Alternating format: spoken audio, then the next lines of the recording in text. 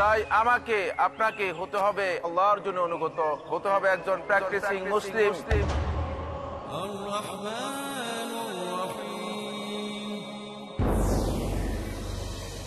তাই একজন আদর্শ মুসলিম হতে হলে পিস টিভি বাংলায় দেখুন, আমার আলোচনা একজন আদর্শ মুসলিমের করণীয় বর্জনীয়।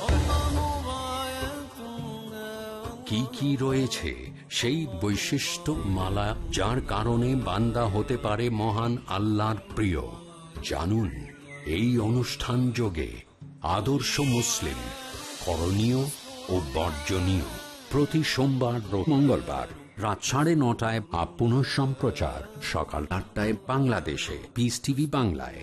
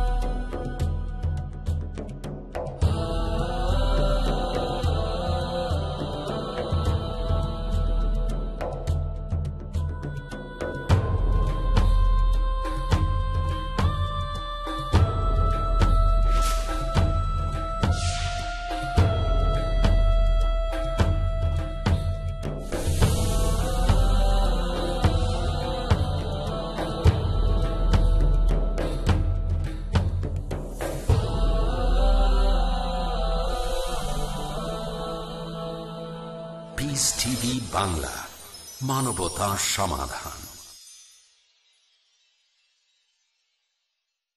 line answer is sufficient. God himself paid the price. And Jesus said, I am. I'm a non-vegetarian. 21st century will belong to vegetarians. This cause of death in the world. Veg or non-veg? If I prove that an apple is better than a mango, that doesn't mean mango is prohibited. I have some problems with this. Man has become an animal. He's more like a lawyer than like a scientist. Quran is incomplete. There's a misconception. Neither a single verse which is against established science. And I challenge Dr. William Campbell It's a different situation. I will not tempt God. that apologize if I've hurt the feelings of any Christians. It was just a reply to Dr. William Campbell's book. brother has asked a very complicated question. The answer is very clear. Major minor religion, fraud is prohibited. Ask me a direct question, I'll be too willing to give you a reply. Is milk veg or non-veg? If this was not done, life on the earth would have ceased to exist. Then could you please prove it authentically? The word Trinity doesn't exist. एक सीधी सी बात है Smoking is prohibited. That's final. I hope I have answered properly. It's illogical and unscientific. That does not mean Quran is wrong. It has really moved me.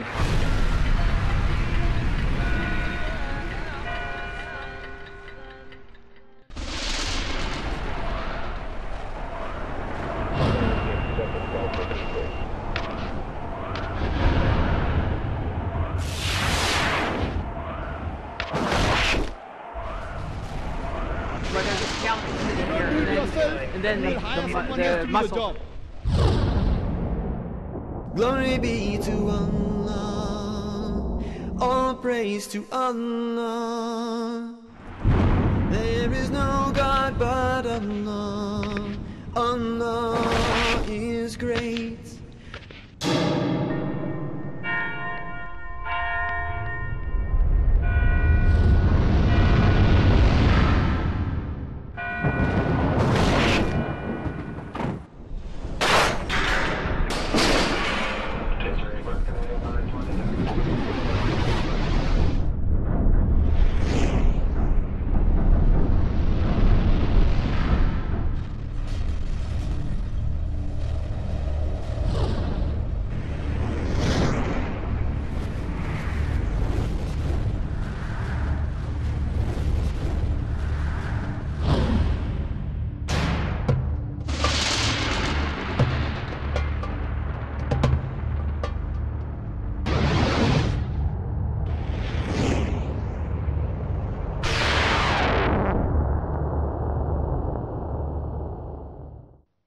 পবিত্র কোরআন হলো সর্বশেষ আর চূড়ান্ত আসমানি কিতাব, যেটা নাজিল হয়েছিল সর্বশেষ আর চূড়ান্ত নবী হজরত মোহাম্মদ সাল্লাহ সাল্লামের উপর। যারা ভ্রূণবিদ্যা সম্পর্কে সামান্য কিছু জানেন, তারাও বলতে পারবেন, ভ্রূণ হওয়ার সময় কোনো পিণ্ড তৈরি হয় না। এটা খুব বড় একটা বৈজ্ঞানিক ভুল। কিছু মুসলিম লেখক আছেন যারা বলেন যে পবিত্র কোরআন বিজ্ঞানের আগেই পানিচক্রের বর্ণনা দিয়েছে। সত্যি কথা বলতে পবিত্র কোরআনে পানিচক্রের বিস্তারিত বর্ণনা আছে। আর যারা কোরআনের ব্যাখ্যা দিয়েছেন, তাদের প্রায় সবাই বলেছেন যে পবিত্র কোরআনের সুরা তারিখের এই এগারো নম্বর আয়াতটাতে বলা হয়েছে যে বৃষ্টির পানি আবার চলে যায়, তার মানে বাষ্পীভবন। আমি এমন কোন জিওলজির বই পড়িনি, আর আমি ডক্টর উইলিয়াম ক্যাম্বেলকে চ্যালেঞ্জ করছি একটা জিওলজির বইয়ের নাম বলতে। তার সাথে কোনো ভূতত্ত্ববিদের ব্যক্তিগত আলোচনার কথা বলছি না। আমি এখানে মাত্র বাইশটা সমস্যার কথা বললাম। এছাড়াও বাইবেলে আরও শখানেক বৈজ্ঞানিক ভুল আছে, বৈজ্ঞানিক ভুল। আশা করি ডক্টর ক্যাম্বেল সমস্যাগুলো নিয়ে কথা বলবেন। আর উনি এখানে, যদি তিনি যুক্তি মেনে চলেন, তাহলে তিনি কখনোই বৈজ্ঞানিকভাবে এই বাইশটা সমস্যার সমাধান কোনোভাবে দিতে পারবেন না। এখন ডক্টর জাকির নায়েকের লেকচারের উত্তরে কথা বলবেন doctor William Campbell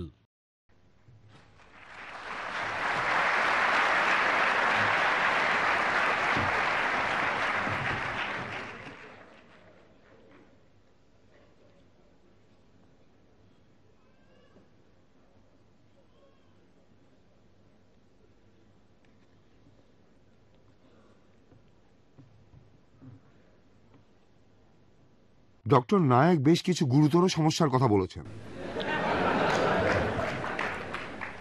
আমি তার সাথে একমত নই, উনি কোরআনের আলাকা আর মুতগা সম্পর্কে যে ব্যাখ্যা দিলেন, আমার মতে এটা আসলে একটা সমস্যা।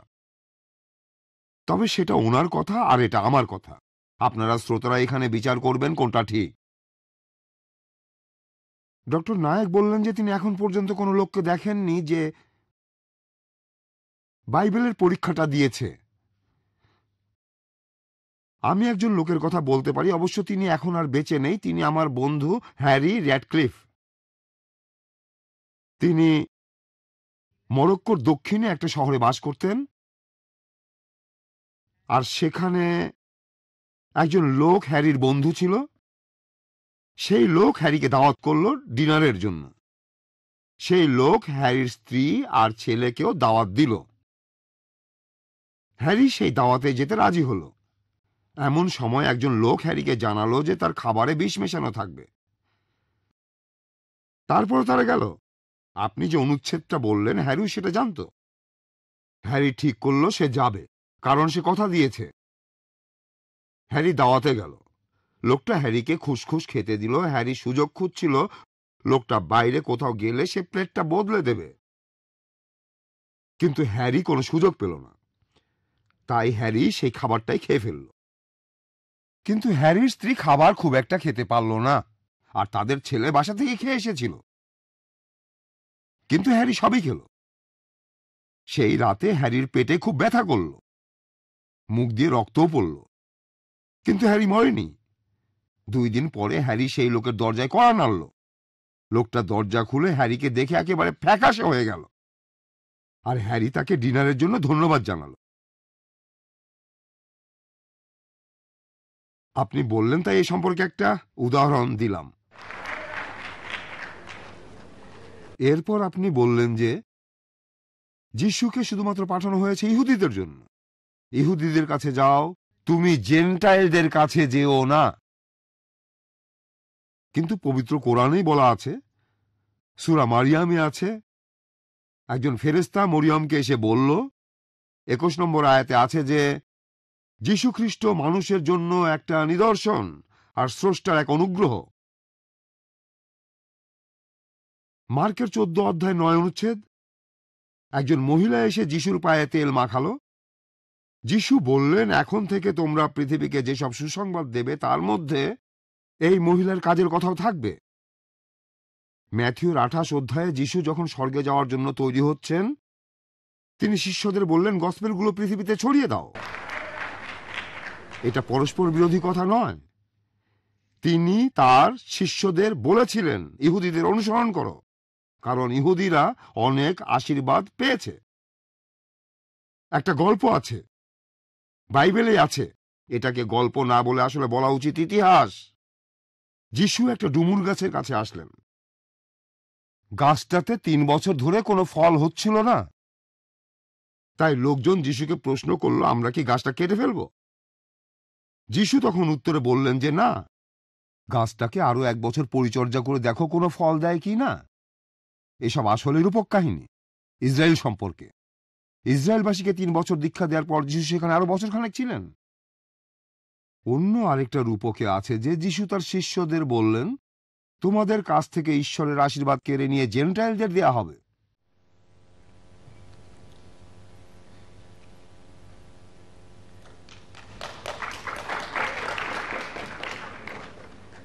ডক্টর নায়ক সৃষ্টির ছয় দিনের কথা বললেন, চব্বিশ ঘণ্টার দিন। বাইবেলে যে ছয় দিনের কথা বলা হয়েছে, সেটা একটা লম্বা সময়ও হতে পারে। চব্বিশ ঘণ্টার হতেই হবে এমন নয়। যেভাবে মরিস বুকাইলি তার লেখা বইতে লিখেছেন, আর আমার মতে এই দিনগুলো খুব লম্বা একটা সময়। ডক্টর নায়ক বাইবেলের আরও কিছু সমস্যার কথা বলেছেন, আমিও অস্বীকার করছি না। এগুলোর পক্ষে যুক্তি দেখাতে পারব না। তবে এই কথা বলব।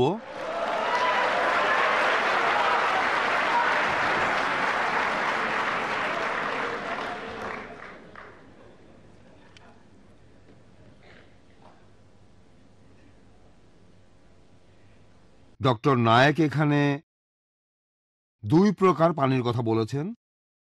মিষ্টি পানি আর লোনা পানি। আমি ওনার এই ব্যাখ্যার সাথে একমত নই। কোরআন বলছে, ঈশ্বর দুই দরিয়াকে প্রবাহিত করেছেন, যারা পরস্পর পরস্পরের সাথে মিলিত হয়। কিন্তু তাদের মধ্যে এক অন্তরাল আছে যা তারা অতিক্রম করতে পারে না। সুতরাং তোমরা তোমাদের প্রতিপালকের কোন অনুগ্রহ স্বীকার করবে?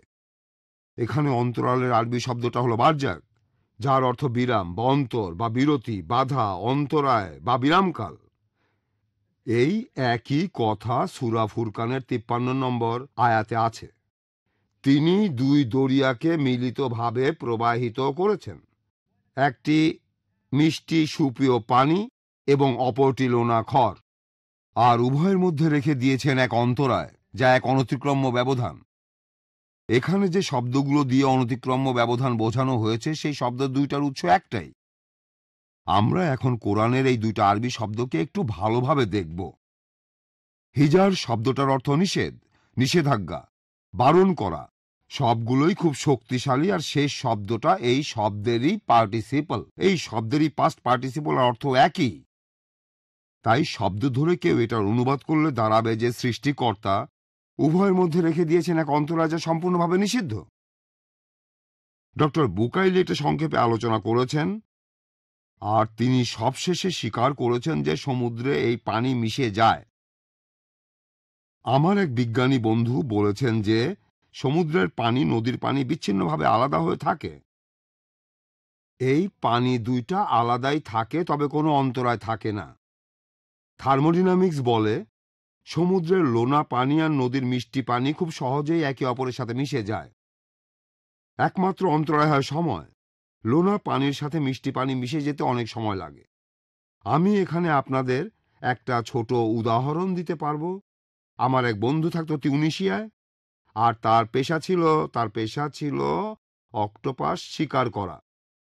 একবার আমি তার সাথে বের হলাম, আর নৌকা থেকে লাফ দিয়ে সাগরে সাঁতার কাটছিলাম, আর তখনই সামনে একটা ছোট খাড়ি পড়ল। সে সময় খেয়াল করলাম যে, উপরের পানিটা ঠান্ডা আর নিচের পানিটা গরম। আমি ভাবলাম এটা কীভাবে হলো? উপরের পানি ঠান্ডা আর নিচের পানি গরম? এরপরেই বুঝলাম, উপরের ঠান্ডা পানি এটা আসছে নদী থেকে আর লোনা পানিটা ভারী, তাই সেটা নিচের দিকে চলে যাচ্ছে আর ঠান্ডা, মিষ্টি পানিটা রয়েছে উপরে। তাই এখানে আসলে কোনো অন্তরায় নেই।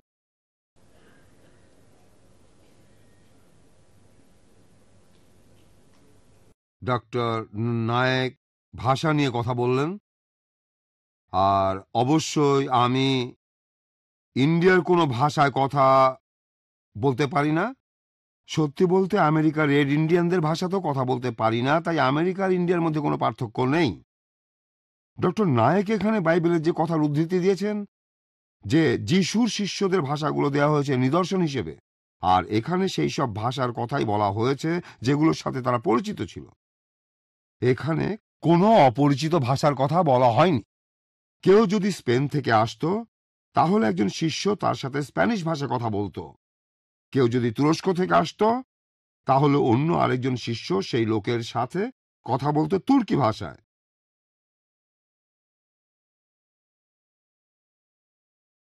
এখন আমি আপনাদের সাথে অন্য আরেকটা বিষয়ে কথা বলব।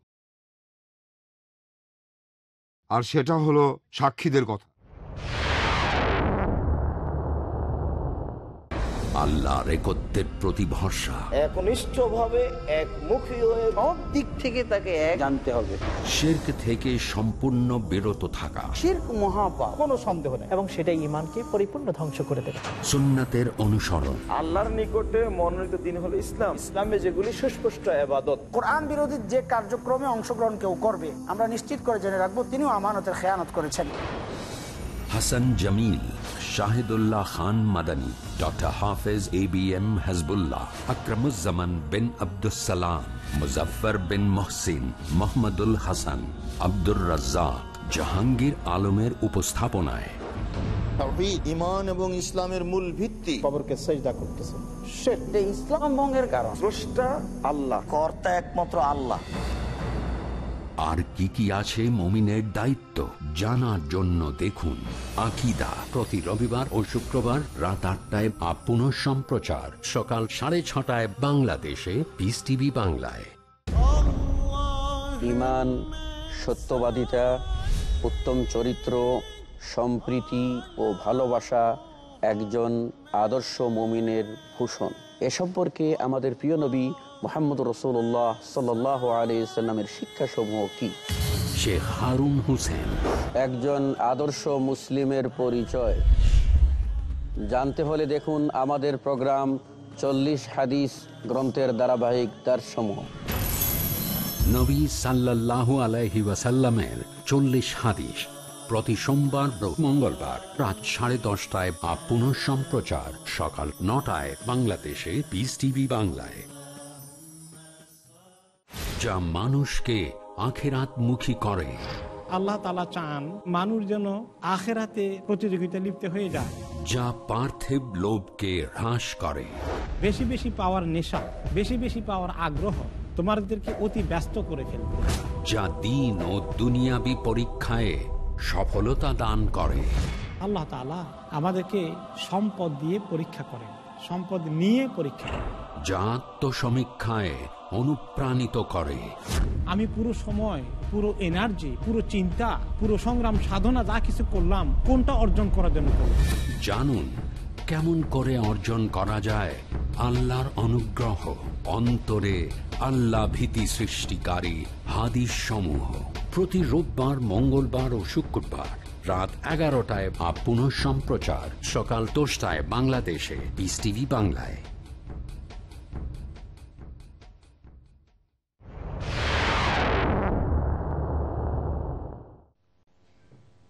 ডিউটারোনমিতে ঈশ্বর মুসাকে বলেছেন, একজন নবীর বৈশিষ্ট্য হল তার ভবিষ্যৎবাণী ফলে যাবে। অ্যালাইজা এখানে দৃষ্টান্ত কোরআনের ভাষা ইলিয়াস। তিনি রাজার কাছে গিয়ে বললেন যে, আমি আদেশ না দিলে বৃষ্টি হবে না। তারপর ছয় মাস কোনো বৃষ্টি হলো না। এক বছর বৃষ্টি নেই। একবার তিউনিশিয়ায় এক বছর বৃষ্টি হয়নি। দুই বছর বৃষ্টি হলো না। তিন বছর গেল, সাড়ে তিন বছর গেল। তখন এলাইজা রাজার কাছে গেলেন আর বললেন, আমাদের প্রতিযোগিতা হোক। তারা তখন কার্মেল পাহাড়ে উঠে প্রতিযোগিতায় নামল। আর রাজা হেরে গেল। কোরআনেও আছে, নবী ইলিয়াস রাজার সাথে প্রতিদ্বন্দ্বিতায় জিতে গিয়েছিলেন। তারপর এলাইজা সেখানে হাঁটু গেড়ে বসলেন আর বৃষ্টির জন্য প্রার্থনা করলেন। তারপর বৃষ্টি হল। এখানে এলাইজা হলেন প্রথম সাক্ষী। তিনি বলেছেন, আমার আদেশ ছাড়া বৃষ্টি হবে না। এখানে তিনিই প্রথম সাক্ষী। যখন ঈশ্বর পৃথিবীতে বৃষ্টি নামালেন, এলাইজা তখন হাঁটু গেড়ে বসেছিলেন। ঈশ্বর এখানে দ্বিতীয় সাক্ষী। আরেকটা উদাহরণ আছে আইজায়ায়, খ্রিস্টপূর্ব সাতশো পঞ্চাশ সালে। ইহুদিদের নির্বাসনে পাঠানো হয়েছিল, ভবিষ্যৎবাণীটা ছিল তাদের নির্বাসনে পাঠানো হবে। তারপর সাইরাস, তাদের ফিরিয়ে আনবে। এই সাইরাসটা আবার কে? এর আড়াইশো বছর পরে সাইরাস নামে পারস্য দেশের এক রাজা ইহুদিদের ইসরায়েলে ফেরত পাঠালেন। প্যালেস্টাইনে ফেরত পাঠালেন। আর লন্ডনের সাইরাস সিলিন্ডারেও একই কথা লেখা রয়েছে। এখন আমাদের প্রশ্ন হল, যিশু কি ভবিষ্যৎবাণী করেছিলেন? তিনি কি অলৌকিক কিছু করেছেন? তার ভবিষ্যৎবাণী কি ফলেছিল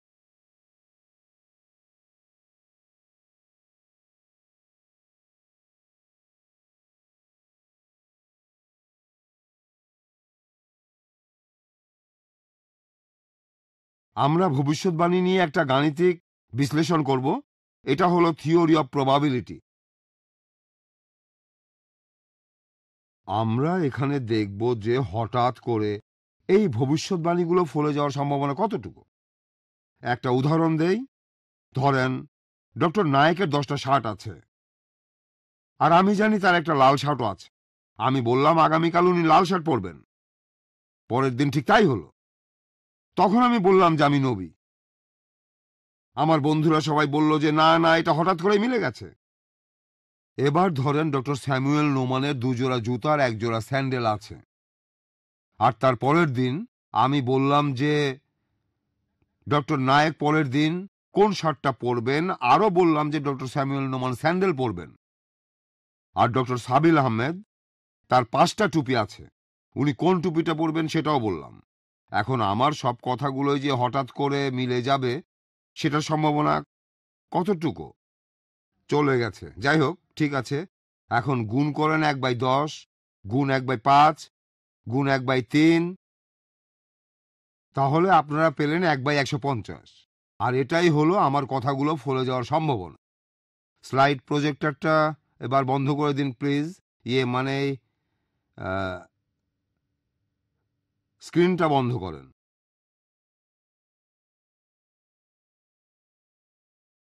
আচ্ছা সময় চলে যাচ্ছে, আমরা দশটা ভবিষ্যৎবাণী দেখব।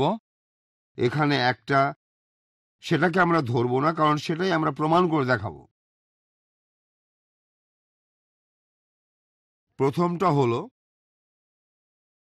খ্রিস্ট, খ্রিস্টপূর্ব ছয়শো সালে জেরেমিয়ায় ভবিষ্যৎবাণী করা হয়েছিল। যে নবী দাউদের বংশধারা থেকেই মসিহ পৃথিবীতে আসবেন। সময় চলে এসেছে, ঈশ্বর বললেন, আর আমি দাউদের বংশধারা এক মানুষকে পাঠাবো। একজন রাজাকে যে দক্ষতার সাথে রাজত্ব করবে আর সবসময় ন্যায় বিচার করবে। তাকে বলা হবে প্রভু ইয়া হয়ে ন্যায় পরায়ণ রাজা। এটা পূরণ হয়েছে ছয় মাস পরে ঈশ্বরের নির্দেশে জিব্রাইল এলো মরিয়মের কাছে। জিব্রাইল তাকে বলল, ভয় পেও না মরিয়ম, তুমি গর্ভবতী হবে এবং একটি পুত্র সন্তান ধারণ করবে। তাকে তুমি ডাকবে যিশু বলে সে মহান হবে আর তাকে বলা হবে ঈশ্বরের সন্তান। আর প্রভু ঈশ্বর তাকে তার পূর্বপুরুষ দাউদের সিংহাসন দেবেন। আর তাকে দেবেন সেই রাজত্ব যার শেষ নেই। তারপর জিব্রাইল তাকে বলল, তোমার নিকট পবিত্র আত্মা আসবে আর ঈশ্বরের শক্তি তোমার উপর ছায়া করবে। তাই যে সন্তানের জন্ম হবে তাকে বলা হবে পবিত্র। দাউদ এসেছিলেন একটা একটা ছোট পরিবার থেকে। আর তিনি যখন রাজা হলেন, তখন সবার মনে পড়ল যে তিনি রাজার একজন জ্ঞাতি ভাই ছিলেন। তাই আমি ধরে নিচ্ছি যে প্রতি দুইশো জনে একজন ইহুদি দাউদের বংশধারা থেকে এসেছে।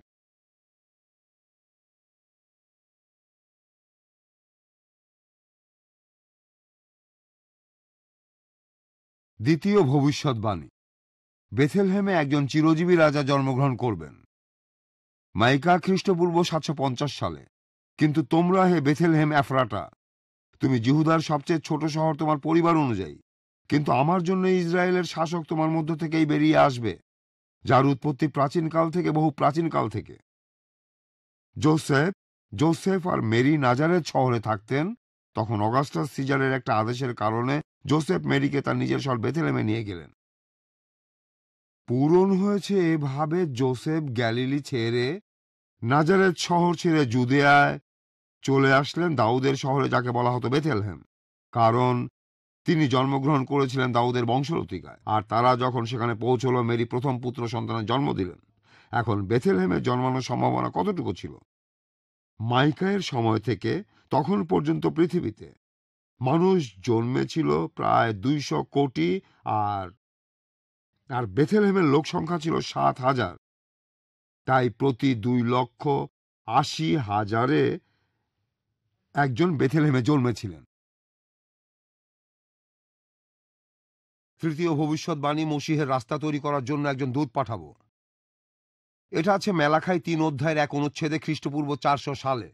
দেখো, আমি আমার বার্তাবাহককে পাঠাচ্ছি, সে আমার আগে আমার জন্য পথ পরিষ্কার করবে। তোমরা যে প্রভুর অন্বেষণ করছ, তিনি হঠাৎ তার মন্দিরে আসবেন। নতুন চুক্তির বার্তাবাহক যাকে তোমরা চাও, তিনি আসছেন। প্রভু সর্বশক্তিমান বলেন, আর জনের গসপেলে পরের দিন John John of the Baptist ইয়াইহা ভবনে জাকারিয়া যিশুকে তার কাছে আসতে দেখলেন আর বললেন, দেখো, ঈশ্বরের মেষশাবক যিনি পৃথিবীর সব পাপ ভার নিয়ে যাবেন, ইনি সেই ব্যক্তি যার কথা আমি বলেছিলাম। আমার পরে এমন এক ব্যক্তি আসছেন যিনি আমার উপরে। কেননা তিনি আমার পূর্বেও ছিলেন। আর কোরআনেও এ কথা উল্লেখ আছে সুরাল ইমরানের উনচল্লিশ থেকে পঁয়তাল্লিশ নম্বর আয়াতে, যে ইয়াহিয়া আসবেন, তিনি হবেন ঈশ্বরের বাণীর সমর্থক। তার নাম হবে ঈশা মসিহ মরিয়ম তনয়। এখন কতজন নেতার আগেও একজন নেতা ছিল? আমি জানি না। তবে ধরে নিচ্ছি প্রতি এক হাজারে একজন নেতার আগেও আরেকজন নেতা ছিল।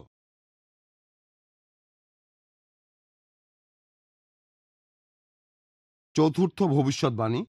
মসিহ অনেকগুলো অলৌকিক কাজ করে দেখাবেন। আইজায়া খ্রিস্টপূর্ব সাতশো পঞ্চাশ সালে যারা ভয় পাচ্ছে তাদের জানিয়ে দাও। শক্ত হও, ভয় পেও না, তোমাদের প্রভু আসবেন, তোমাদের রক্ষা করবেন। তখন অন্ধ মানুষেরা চোখে দেখতে পাবে আর বধিররা কানে পুরোপুরি শুনতে পাবে। পঙ্গুরা হরিণের মতো নেচে উঠবে, বোবারা আনন্দে চিৎকার করে উঠবে। পূরণ হয়েছে।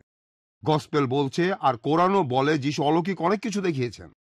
বাইবেলে মাত্র চারজন নবীর কথা আছে যারা অলৌকিক কাজ করেছেন। মুসা, এলাইজা, এলাইশা, যিশু।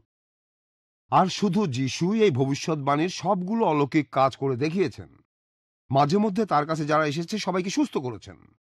এখন অনেক মুসলিম বিশ্বাস করেন, পৃথিবীতে এক লক্ষ চব্বিশ হাজার নবী এসেছেন। আমরা এই সংখ্যাটাই নেব আর বলব যে যিশু এই এক লক্ষ চব্বিশ হাজার জনের মধ্যে একজন। পঞ্চম ভবিষ্যৎবাণী। সেটা হলো এইসব নিদর্শন সত্ত্বেও তার ভাইরা তার বিরুদ্ধে যাবে। খ্রিস্টপূর্ব এক হাজার সালের সামে উল্লেখ আছে, আমি আমার ভাইদের কাছে অপরিচিত। মায়ের সন্তানের কাছে বিদেশি। আর গসপেল অব জনে আছে, তার ভাইয়েরা তাকে জুদিয়ায় চলে যেতে বলল, কারণ ভাইয়েরাও তাকে বিশ্বাস করত না। এখন প্রশ্ন হতে পারে, কতজন শাসকের পরিবার তাদের বিপক্ষে চলে যায়? অবশ্য অনেক রাজাকেই সিংহাসনচ্যুত করেছে তার আত্মীয় স্বজনরাই তাই এখানে সংখ্যাটা বলব এক বাই পাঁচ। অর্থাৎ প্রতি পাঁচজনের মধ্যে একজন।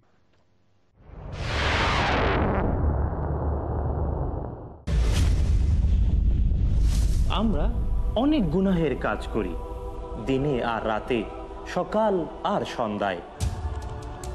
জেনে আর না জেনে। কিন্তু কিছু গুনাহ রয়েছে কবিরা জাল্লা সুফানা হুয়া তাআলা তওবা করা ছাড়া ক্ষমা করে দেবেন না। শাহ ওয়ালিউল্লাহ।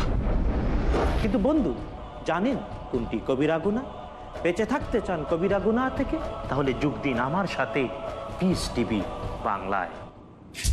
দেখুন বড় গুণা প্রতি সোমবার ও শনিবার সন্ধ্যা সাড়ে পাঁচটায় বা পুনঃ সম্প্রচার সকাল ছটায় বাংলাদেশে পিস টিভি বাংলায়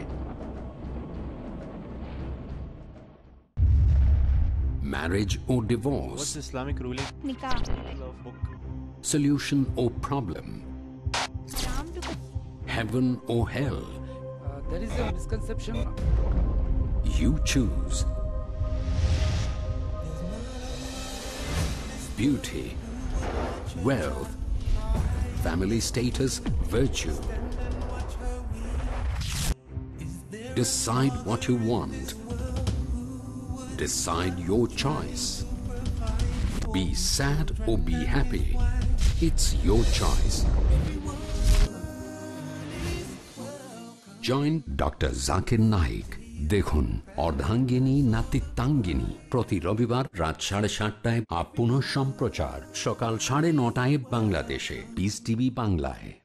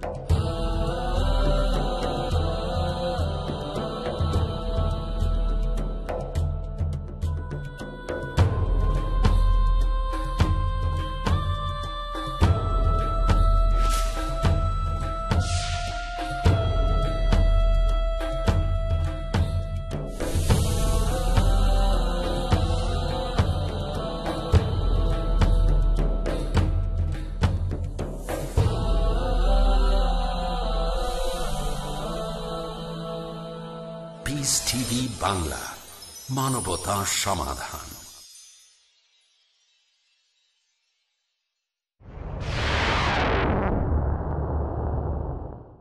ষষ্ঠ ভবিষ্যৎবাণী। শিয়নবাসী তোমরা উল্লাস করো, উল্লাসে ফেটে পড়ো। উল্লাস করো, জেরুজালেমবাসী। তোমরা আনন্দে চিৎকার করো, তোমাদের রাজা আসছেন। তিনি সেই ধার্মিক রাজা, সেই বিজয়ী রাজা, তিনি বিনয়ী। এবং তিনি আসবেন খচ্চরের পিঠে চড়ে। আর বুক অব জনে আছে। পরের দিন অনেক লোক খেজুরের পাতা নিয়ে তার সাথে দেখা করতে গেল আর চিৎকার করে বলল, হোসানা! ধন্য তিনি যিনি প্রভুর নামে আসছেন। তিনি ইসরায়েলের রাজা। যিশু একটা খচ্চর পেলেন আর সেটার পিঠে চড়লেন। অবশ্য যিশু যে খচ্চরের পিঠে চড়েছিলেন, এটা অলৌকিক কিছু নয়। এটা একটা স্বাভাবিক ব্যাপার। তবে এখানে লোকজন এসে তার নামে প্রশংসা করে বলেছিল এবং গর্ব করে বলেছিল, ধন্য তিনি যিনি প্রভুর নামে আসছেন। কতজন শাসক জেরুজালেমে খচ্চরের পিঠে ঢুকেছেন? কতজন শাসক জেরুজালেমে খচ্চরের পিঠে করে ঢুকেছেন? এখনকার দিনে শাসক আসবেন মার্সিডিজে চড়ে। একজন শাসক, ধরে নিলাম একশো জনে একজন শাসক। সপ্তম ভবিষ্যৎবাণী, মন্দির ধ্বংস হওয়ার কথা যিশু আগেই বলেছিলেন। তিনি নিজেই এই ভবিষ্যৎবাণীটা করেছিলেন। যিশু এই কথাটা বলেছিলেন তিরিশ খ্রিস্টাব্দের কাছাকাছি সময়ে। যিশু যখন মন্দির থেকে বের হচ্ছিলেন, তখন তার একজন শিষ্য বললেন, প্রভু দেখেন কি সুন্দর পাথর আর কি সুন্দর দালান। আর যিশু বললেন, তুমি এই দালানগুলো দেখছ? এই দালানের একটা পাথরও টিকে থাকবে না, সবই ধ্বংস হয়ে যাবে। এটা পূরণ হলো প্রায় চল্লিশ বছর পরে সত্তর খ্রিস্টাব্দে রোমান সেনাপতি টিটাস অনেকদিন অবরোধের পর জেরুজালেম দখল করলেন। টিটাস মন্দিরের কোনো ক্ষতি করতে চাননি, কিন্তু ইহুদিরাই সেটাতে আগুন ধরিয়ে দিল। ইহুদিদের পক্ষে বিদ্রোহ করার হেরে যাওয়াটাই স্বাভাবিক ছিল। তাই সম্ভাবনাটা ধরলাম পাঁচ ভাগের এক ভাগ। অষ্টম ভবিষ্যৎবাণী মসিহকে ক্রুশবিদ্ধ করা হবে। খ্রিস্টপূর্ব এক হাজার সালে দাউদ সামে বলেছেন, আমার চারপাশ ঘিরে রয়েছে একদল মন্দ লোক। তারা আমার হাত ও পা বিদ্ধ করে দিয়েছে। তবে দাউদ তাদের হাতে মারা যাননি, তার স্বাভাবিক মৃত্যু হয়েছিল। তার পা আর হাত বিদ্ধ করা ছিল না। আর গসপেল অব লুকে আছে, তারা তখন মাথার খুলি নামে জায়গাটাতে আসলো সেখানে তাকে আরও দুইজন অপরাধী সহ ক্রুশবিদ্ধ করল। একজন তার ডানে আর একজন তার বামে। এখন প্রশ্ন হলো, কতজনের মধ্যে কতজনকে ক্রুশবিদ্ধ করা হয়েছে? ধরে নিলাম প্রতি দশ হাজারে একজনকে। ভবিষ্যৎবাণী নয়। তার পোশাক ভাগ করে নেওয়া হবে আর আলখেল্লা নিয়ে লটারি হবে। আবার ওই ভবিষ্যৎবাণী করেছেন দাউদ। তারা আমার পোশাক ভাগ করে নিয়েছে, আমার কাপড়ের জন্য ঘুটি চালছে। আর বুক অব জনে উনিশ অধ্যায়ে উল্লেখ আছে, যিশুকে ক্রুশে দেবার পর সৈন্যরা তার পোশাক নিয়ে চার ভাগ করে প্রত্যেক সৈন্যকে একটা অংশ দিল, তখনও তার অন্তর্বাসটা বাকি ছিল। সেটা ছিল সেলাই ছাড়া। উপর থেকে নিচে কোথাও সেলাই ছিল না। তারা বলল, এটাকে ছিল না, আমরা ঘুটি চেলে দেখি কে এটা পাবে। বলতে পারেন, কতজন অপরাধী সেলাই ছাড়া পোশাক পরবে? আপনারা হয়তো অনেক কিছু বলতে পারেন, আমি এখানে ধরছি একশো জন একজন।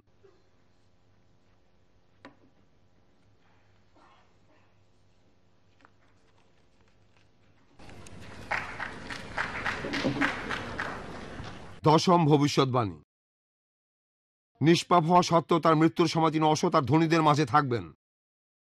আইজায় আছে খ্রিস্টপূর্ব সাতশো পঞ্চাশ সালে তার মৃত্যু হবে এবং তাকে ধনী ও অসৎ লোকদের সাথে সমাহিত করা হয়েছিল। সে হিংস্রতা করেনি, কেউ প্রতারিত হয়নি। তাকে রীতিভঙ্গের অভিযোগে অভিযুক্ত করা হবে। আর মার্কের পনেরো নম্বর অধ্যায়ে আছে। তারা দুজন দস্যুকে তার সাথে ক্রুশবিদ্ধ করেছিল। ম্যাথিউয়ের সাতাশ অধ্যায়ে আছে, সন্ধ্যায় অ্যারিমেথিয়া থেকে এক ধনী এলো। যার নাম জোসেফ, যিশুর একজন শিষ্য। পাইলটের কাছে গিয়ে সে যিশুর মৃতদেহটা চাইল। জোসেফ একটা লিনেন চাদরে তার দেহটা জড়ালেন এবং নতুন সমাধিতে রাখলেন। এখন কতজন সাজাপ্রাপ্ত আসামি নিষ্পাপ ছিলেন? আমি এখানে ধরেছি দশজন, একজন। তারপর কতজন নিষ্পাপ আর কতজন আসামির সমাধি হয় ধনীদের সাথে? আমি এখানে ধরলাম একশো জন, একজন। তাহলে এটা হবে এক হাজার একজন। পরবর্তী ভবিষ্যৎবাণী, তিনি মৃত অবস্থা থেকে আবার জীবিত হবেন। আইজায় আছে কারণ সে জীবিতদের দেশ থেকে বিচ্ছিন্ন হয়েছিল। আমার লোকদের পাপের জন্য সে শাস্তি পেয়েছিল। সে তার সন্তানদের মুখ দেখবে এবং দীর্ঘদিন বাঁচবে। এখানে ভবিষ্যৎবাণী করা হয়েছে যে তিনি আবার জীবিত হবেন। গসপেল অফ লুকে আছে, যিশু তাদের সবার সামনে আসলেন আর বললেন, তোমাদের শান্তি হোক। তারপর ফার্স্ট করিন্থিয়ানের পনেরো নম্বর অধ্যায়ে সেন্ট পল বলেছেন, যিশু প্রথমে পিটারের সামনে আসলেন, তারপর বারো জনের সামনে। তারপর তিনি একই সময়ে পাঁচশো জনের বেশি জ্ঞাতি ভাইদের সামনে আসলেন, যাদের অধিকাংশই জীবিত। তারপর জেমসের সামনে, যিশুর সৎ ভাই। তারপর সব শিষ্যদের সামনে। তবে এই ব্যাপারটাকে এখন গুরুত্ব না দিলেই চলবে। এখন আমরা সম্ভাবনাটা হিসাব করব। কতজন মানুষের মধ্যে একজনের ক্ষেত্রে ফলে যাবে? এই সবগুলো অনুমানকে গুণ করলে উত্তরটা পাওয়া যাবে। এই হিসেবটা অনেক বড়, একবার দেখলে দুই গুণ দুই দশমিক সাত আট গুণ দশ টু দি টু দি পাওয়ার আঠাশ। আঠাশটা শূন্য। সহজভাবে বললে এটা হবে এক গুণ দশ টু দি পাওয়ার আঠাশ। পৃথিবীতে এই সময়ের মধ্যে যত মানুষ জন্মেছে, তাদের সংখ্যা ধরা হয়েছে আট হাজার আটশো কোটি। আমরা এটাকে বলব এক গুণ দশ টু দি পাওয়ার এগারো। এই সংখ্যা দুটাকে ভাগ করলে যে সংখ্যাটা পাবো সেটা হলো বর্তমান সময়ের মধ্যে এই ভবিষ্যৎবাণীগুলো হঠাৎ করে মিলে যাবে, তার সম্ভাবনা। সেটা হলো এক বাই দশ টু দি পাওয়ার সতেরো। এই সংখ্যাটা হলো একের পরে সতেরোটা শূন্য। একবার কল্পনা করার চেষ্টা করুন। ধরেন আমেরিকার পুরো টেক্সাস স্টেট ঢেকে দিতে হবে কয়েনের পয়সা দিয়ে। এক মিটার গভীর, তিন ফুট গভীরে সেখানে একটা পয়সাতে একটা পয়সাতে চিহ্ন দেয়া থাকবে। তারপর আমি বললাম যে, যান, পুরো টেক্সাস জুড়ে পয়সা ছড়ানো আছে, চিহ্ন দেয়া পয়সাটা নিয়ে আসুন। এখানে ঠিক পয়সাটা আপনি তুলবেন তার সম্ভাবনা কতটুকু? এত কম যে সেটাকে শূন্যই বলা যায়।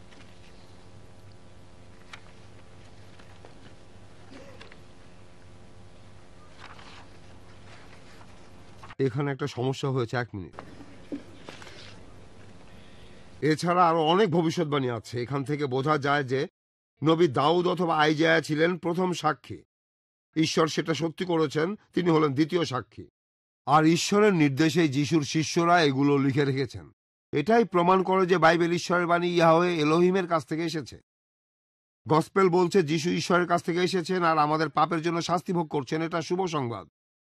কোরআনে আছে নিষ্ঠুর সংবাদ। সুরার না হলে একষট্টি নম্বর আয়াতে আছে, আল্লাহ যদি মানুষকে তাদের সীমা লঙ্ঘনের জন্য শাস্তি দিতেন, তাহলে ভূপৃষ্ঠে কোনো জীবজন্তুকেই তিনি রেহাই দিতেন না। এখন সমস্যা হলো, কোরআনে স্পষ্ট বলা আছে যে আমরা যদি ভালো কাজ করিও, ভালো ফল পাওয়াটা নিশ্চিত নয়। পবিত্র কোরআনে সুরা কাসাসের সাতষট্টি নম্বর আয়াতে বলা হয়েছে, যে ব্যক্তি তওবা করেছিল ইমান এনেছিল, সৎ কাজ করেছিল আশা করা যায় সে সাফল্য অর্জনকারীদের অন্তর্ভুক্ত হবে। এছাড়াও সুরা তাহারিমের আট নম্বর আয়াতে আছে, হে মুমিনগণ, তোমরা আল্লাহর নিকট তওবা করো, বিশুদ্ধ তওবা। সম্ভবত তোমাদের প্রতিপালক তোমাদের মন্দ কাজগুলো মোচন করে দেবেন। সুরা তওবার আঠারো নম্বর আয়াতে উল্লেখ আছে, যারা আল্লাহর মসজিদের রক্ষণাবেক্ষণ করবে যারা ইমান আনে, আল্লাহ ও আখিরাতে এবং সালাত কায়েম করে জাকাত দেয় এবং আল্লাহ ব্যতীত অন্য কাহাকে ভয় করে না।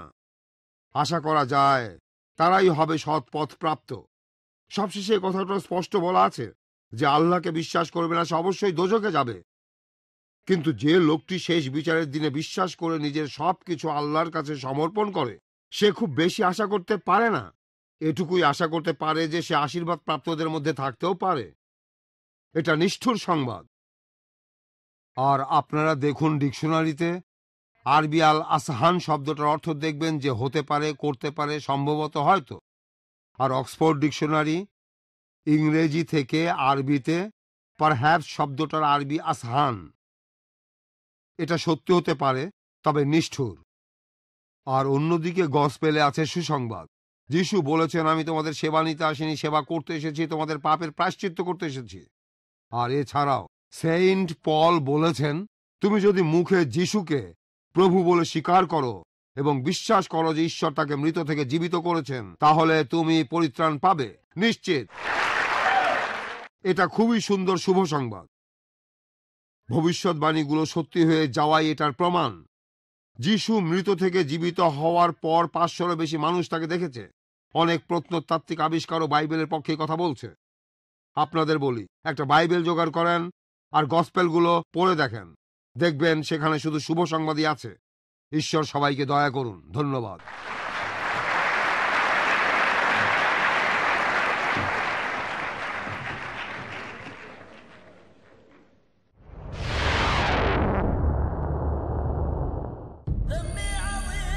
পরিষ্কার করতে হবে মনের ধূল। তা না হলে চোখ জবান করতে পারে ছোট বড় অনেক ভুল। শরীয়ত বিরোধী বহু কাজ। আমি মোহাম্মদ হাশেম মাদানি, চোখ ও জীবের আপদ থেকে বাঁচতে চান? তাহলে দেখুন, চোখ ও জীবের কুফল শুধু পিস টিভি বাংলায়। চোখ ও জিভের কুফর প্রতি সোমবার, বুধবার ও শনিবার রাত এগারোটায় বা পুনঃ সম্প্রচার সকাল দশটায় বাংলাদেশে। পিস টিভি বাংলায়।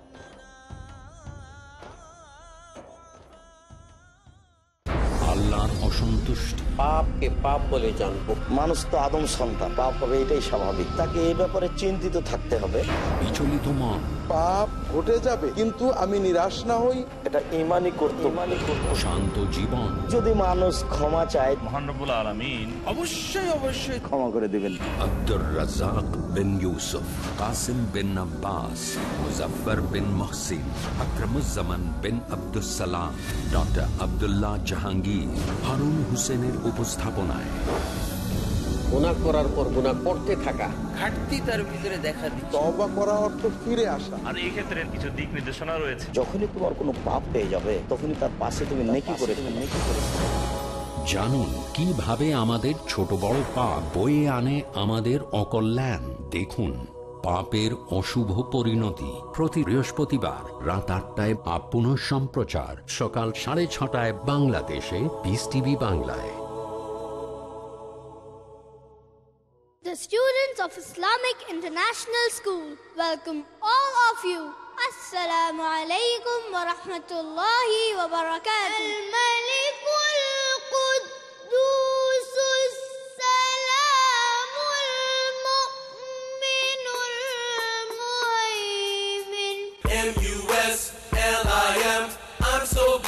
To be with them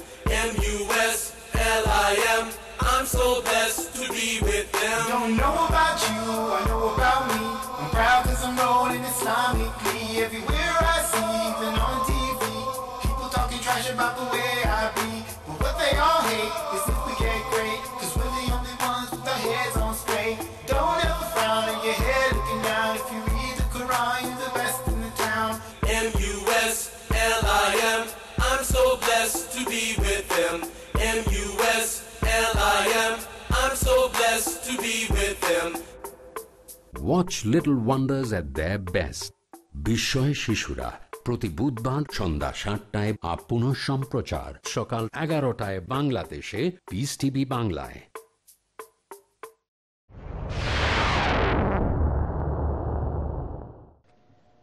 এবারে আমি আমন্ত্রণ জানাব ডক্টর ক্যাম্বেলের কথার উত্তর দিতে ডক্টর জাকির নায়েককে।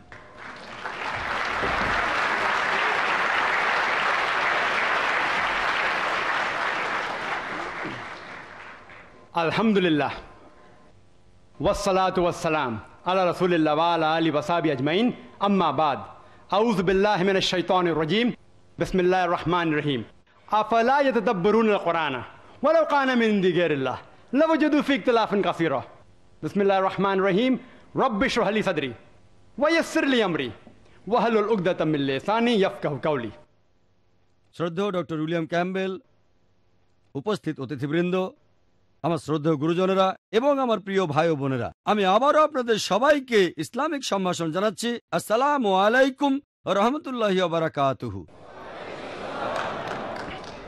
আপনাদের সবার উপর আল্লাহর দয়া, শান্তি এবং রহমত বর্ষিত হোক।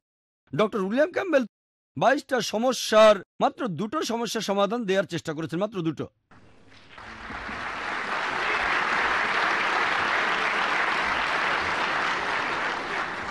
প্রথম সমস্যার উত্তরে তিনি বললেন যে, তার মতে বাইবেলে যে দিনের কথা বলা হয়েছে, সেটা নাকি অনেক লম্বা একটা সময়। আমি আগে আমার লেকচারে বলেছি, যদি আপনি ধরে নেন কোরআনের মতো এখানেও দিনগুলো লম্বা সময়, তাহলে মাত্র দুটো সমস্যার সমাধান দিতে পারবেন।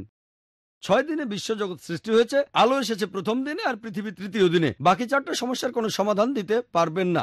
ডক্টর উইলিয়াম ক্যাম্বেল ধরে নিয়েছেন, দিনগুলো লম্বা সময় আর ছয়টা সমস্যার মধ্যে তিনি দুটোর সমাধান করতে পেরেছেন। বাকি চারটা সমস্যা বিশ্বজগতের সৃষ্টি নিয়ে তিনি মেনে নিয়েছেন। খুব ভালো। বললেন, এগুলোর উত্তর দেওয়া কঠিন।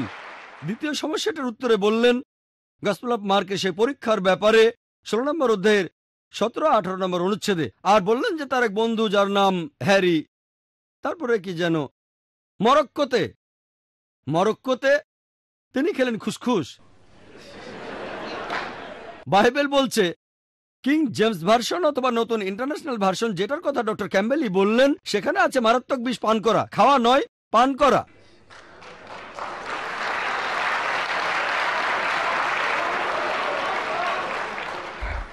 তারপরও তারপরও কোনো সমস্যা নেই। যদি কেউ মারাত্মক বিষ খেয়ে থাকে, সমস্যা নেই। কিন্তু চিন্তা করুন, মরক্কো তো একজন লোক। আমি জানি পৃথিবীতে দুইশো কোটি খ্রিস্টান আছে। কেউ পরীক্ষা দিতে আসেনি। দুইশো কোটি খ্রিস্টানের একজনও না। আর আমি ভেবেছিলাম ডক্টর ক্যাম্বেল সত্যিকার খ্রিস্টান বিশ্বাসী, বলেছিলাম তাকে পরীক্ষায় পাশ করার জন্য। তার বন্ধুকে না, যিনি এখন বেঁচে নেই।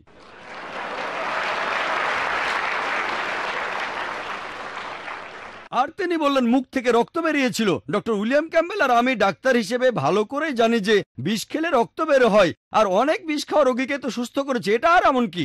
পরীক্ষা হলো, আপনাকে সামনে এগিয়ে এসে এগুলো করতে হবে।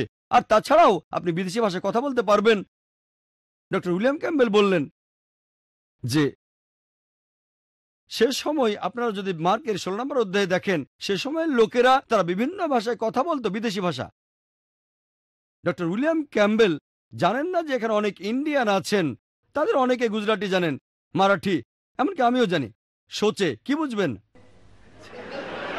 যদি আমি অন্য কোনো ভাষায় বলি, নির্কুট নির্কুট, তামিল। উত্তর নেই। বিদেশি ভাষা। নির্কুট, এখানে কেউ তামিল আছেন? অথবা মালায়ালাম, ওয়েলাম? হ্যাঁ খুব ভালো। আপনি কি খ্রিস্টান? আপনি, আমি আপনাকে জিজ্ঞেস করছি। আপনি মুসলিম? যা হোক, ঠিক আছে, এই পরীক্ষাটা খ্রিস্টান বিশ্বাসীদের জন্য ছিল। এখানে অনেকেই বিদেশি ভাষায় কথা বলতে জানেন। এখানে আপনাকে তাদের সাথে কথা বলতে হবে। যেমন আপনার নাম কি, কেমন আছেন? অথবা আরবিতে কাইফা হালুক, আপনি কেমন আছেন? নতুন ভাষা, যেটা আপনি জানেন না। এভাবে আমাকে প্রমাণ দেন। এখন পর্যন্ত একজন খ্রিস্টানকেও পাইনি যে আমার সামনে এটা পাশ করেছে, একজনও না। আমার সাথে হাজারো খ্রিস্টানে দেখা হয়েছে আর এখন হলো এক হাজার এক। ডক্টর ক্যাম্বেলের সঙ্গে দেখা হওয়ার পর। মাত্র দুটো সমস্যার উত্তর দিয়েছেন।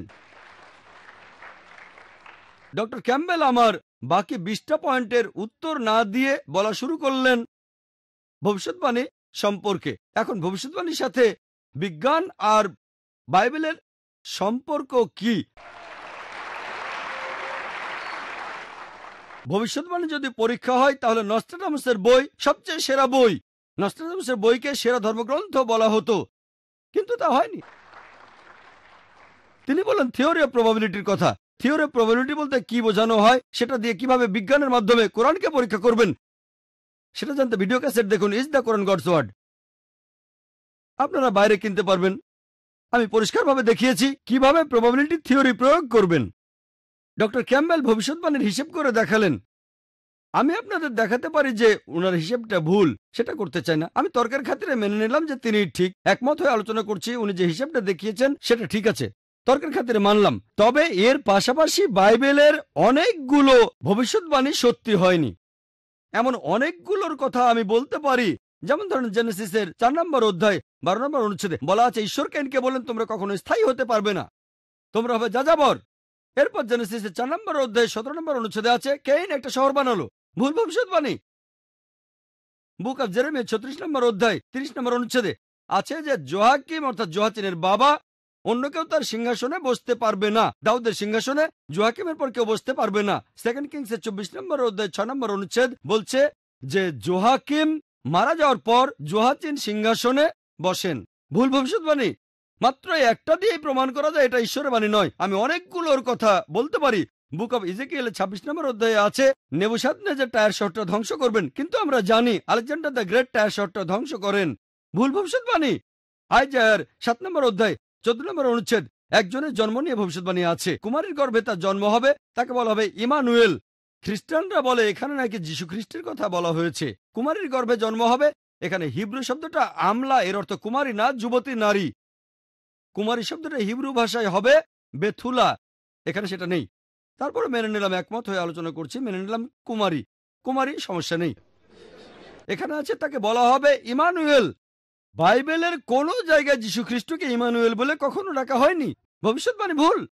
আমি এখানে অনেকগুলো ভুল ভবিষ্যৎবাণীর কথা বলতে পারি। একটা দিয়ে প্রমাণ করা যায় যে বাইবেলে ভুল আছে। আমি কয়েকটার কথা বললাম। এই থিওরি অফ প্রবাবিলিটি বলে যে বাইবেল ঈশ্বরের কাছ থেকে আসেনি।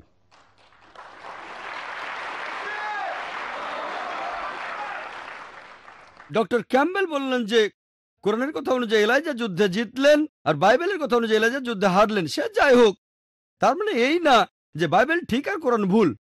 যদি বাইবেল আর কোরআনে আলাদা কথা থাকে, আপনি ধরেই নিচ্ছেন যে বাইবেল ঈশ্বরের বাণী। যদি দুটো গ্রন্থই ভালোভাবে দেখেন, এটাও হতে পারে যে কোরআন ঠিক আর বাইবেল ভুল, আবার হতে পারে বাইবেল ঠিক, কোরআন ভুল, আবার এটাও হতে পারে যে দুটোই ভুল, আবার এটাও হতে পারে দুটোই ঠিক।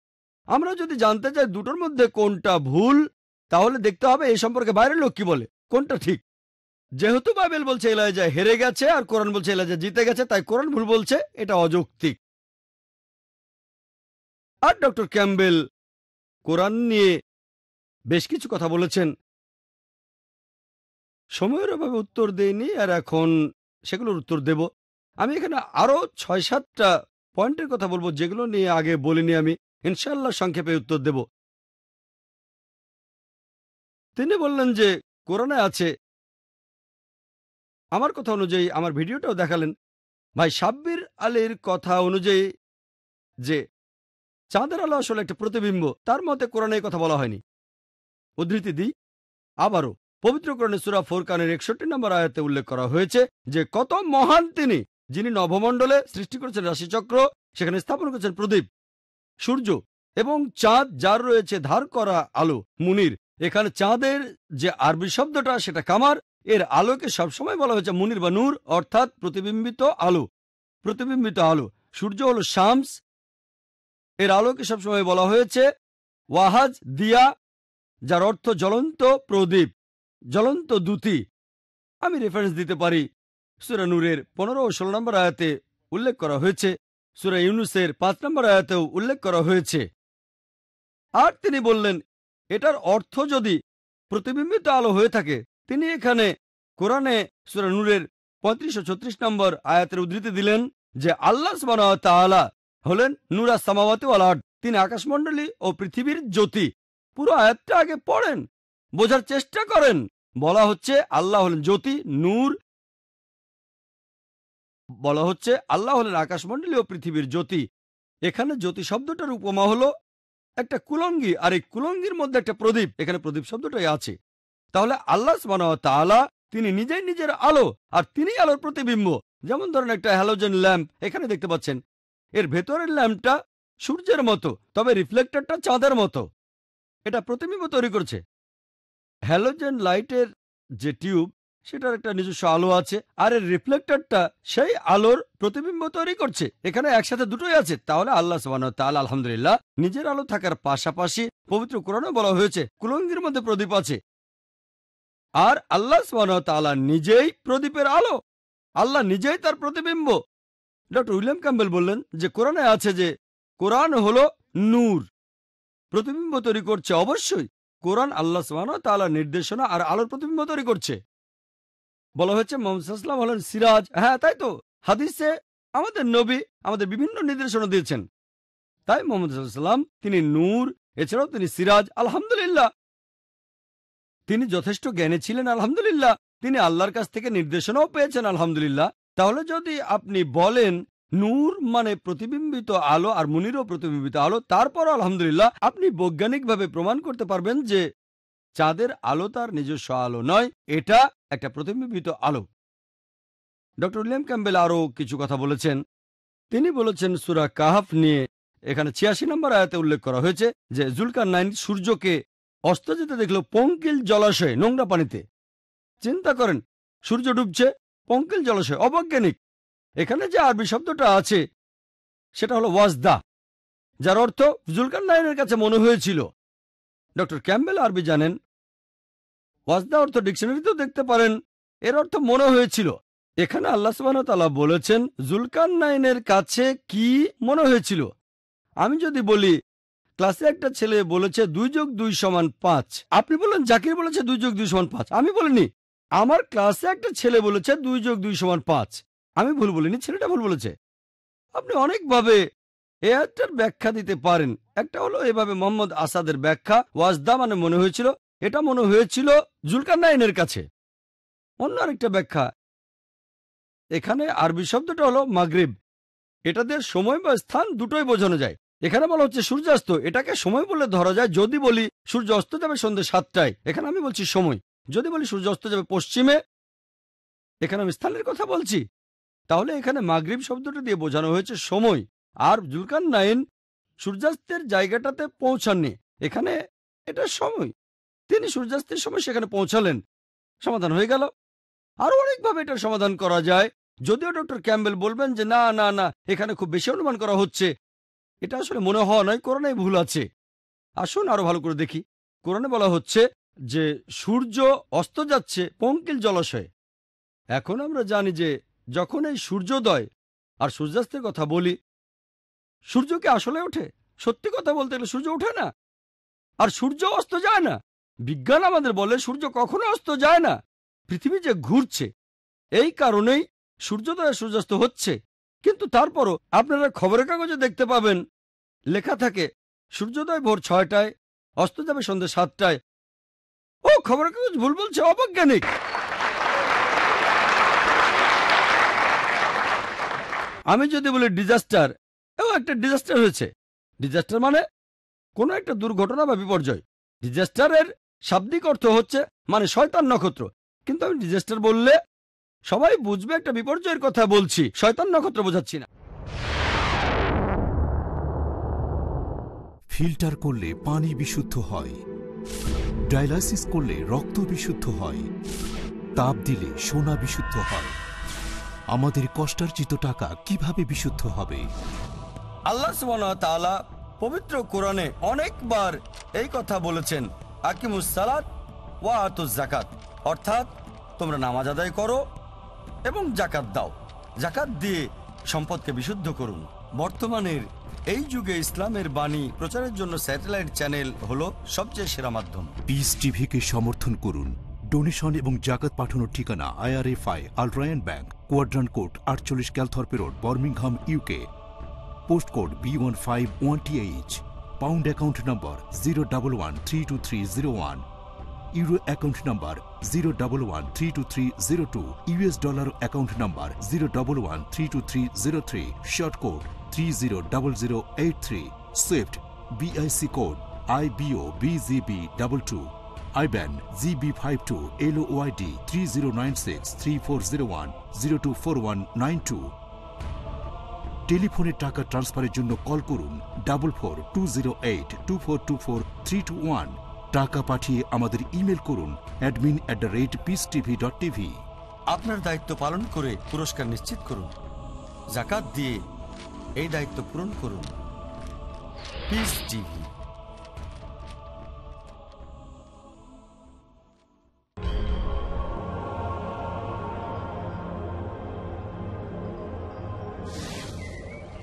বসন্তের বৃষ্টিতে যেমন সবুজ হয়ে ওঠে মরুভূমি,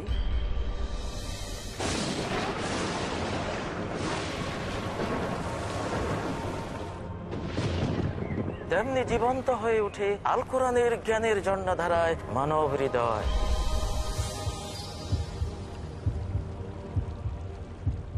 আপনি কি চান তো জাহান জুড়ে প্রাণময়, সুখময়, অনন্ত জীবন তাহলে দেখুন পিস টিভি বাংলায় আমাদের আয়োজন আল কোরআনের জীবন ঘনিষ্ঠ বিধিবিধান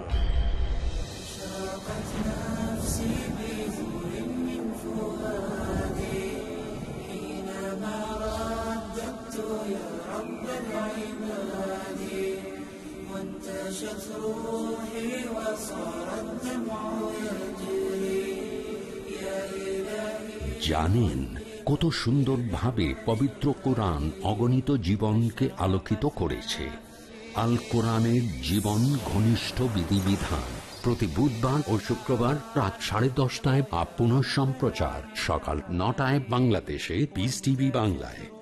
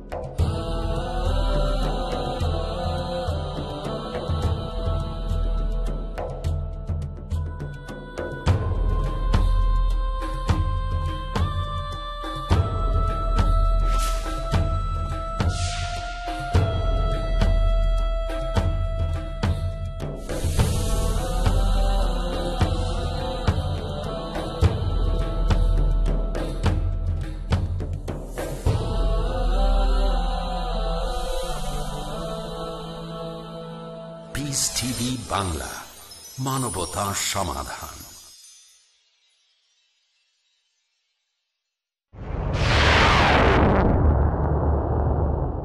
ডক্টর উইলিয়াম ক্যাম্বেল আর আমি জানি যে কোনো পাগল লোককে আমরা লুনাটিক বলি। ঠিক না ভুল? অন্তত পক্ষে আমি জানি, আর আমি বিশ্বাস করি ডক্টর উইলিয়াম ক্যাম্বেল শব্দটা জানেন। যদি কাউকে লুনাটিক বলেন, সে পাগল।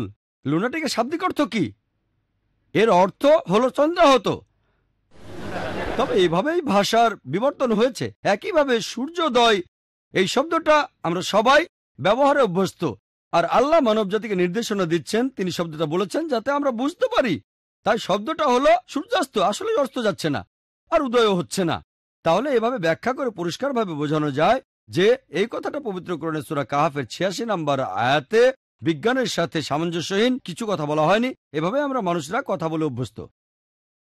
ডক্টর ক্যাম্বেল বললেন, সুরা ফুরকানের পঁয়তাল্লিশ ও ছেচল্লিশ নম্বর আয়াতে উল্লেখ করা হয়েছে যে, আল্লাহ ছায়াকে লম্বা ও প্রসারিত করেন। তিনি এটাকে স্থির রাখতে পারতেন। সূর্য এটার নির্দেশক। আর তার বইয়ে তিনি বলেছেন, সূর্যকে নড়াচড়া করে? এই আয়াতের কোথায় সেটা বলা আছে? সুরা ফুরকানের পঁয়তাল্লিশ ও ছেচল্লিশ নম্বর আয়াতে স্পষ্ট করে লেখা আছে, সূর্য গতিশীলের কথা বলা হয়নি। তিনি তার বই লিখেছেন, আমরা এটা প্রাইমারি স্কুলে পড়েছি আর ওনার লেকচারও বললেন, পৃথিবী যে ঘুরছে এই কারণেই আমাদের ছায়া কখনো বড় আর কখনো ছোট হচ্ছে। তবে কোরআনে বলা হচ্ছে যে সূর্য হলো এর নির্দেশক। আজকের দিনে যে লোকটা প্রাইমারি স্কুলও পাশ করেনি, সেও জানে যে ছায়া হচ্ছে সূর্যের কারণে। এমনকি যে লোকটা কখনো স্কুলে যায়নি, সেও জানে সূর্যের কারণে ছায়া তৈরি হয়। তাহলে কোরআন ঠিকই বলছে। এখানে বলা হচ্ছে না যে সূর্য গতিশীল, সেজন্য ছায়া তৈরি হয়। উনি কোরআনের মধ্যে নিজের কথা ঢোকাচ্ছেন। সূর্য এটা নির্দেশক। নির্দেশ দিচ্ছে ছায়াকে। সূর্যের আলো না থাকলে আমরা ছায়া পাবো না। এই লাইটে অবশ্য ছায়া পড়বে, সেটা আলাদা কথা। তবে এখানে সেই ছায়ার কথা বলা হচ্ছে যে ছায়াটা আকার পরিবর্তন করে লম্বা আর ছোট হয়। ডক্টর উইলিয়াম ক্যাম্বেল সুলেমানের মৃত্যু নিয়ে বললেন, পবিত্র কোরআনে সুরা সাবার বারো থেকে চোদ্দ নম্বর আয়াত উল্লেখ করে বললেন, চিন্তা করেন একজন লাঠিতে ভর দিয়ে আছে, আর মারা গেল, কিন্তু কেউ টের পেল না। ইত্যাদি। অনেকভাবে এটার ব্যাখ্যা দেওয়া যায়। এক নম্বর পয়েন্ট, সুলাইমান আলাই সাল্লাম আল্লাহর নবী ছিলেন। এটা একটা অলৌকিক কাজ হতে পারে। যখন বাইবেল বলছে যে যীশু খ্রিস্ট বা ইসাল্লাহ সাল্লাম মৃতকে জীবিত করতে পারতেন, তিনি কুমারী মায়ের গর্ভে জন্মেছিলেন। কোনটা চিন্তা করা বেশি কঠিন?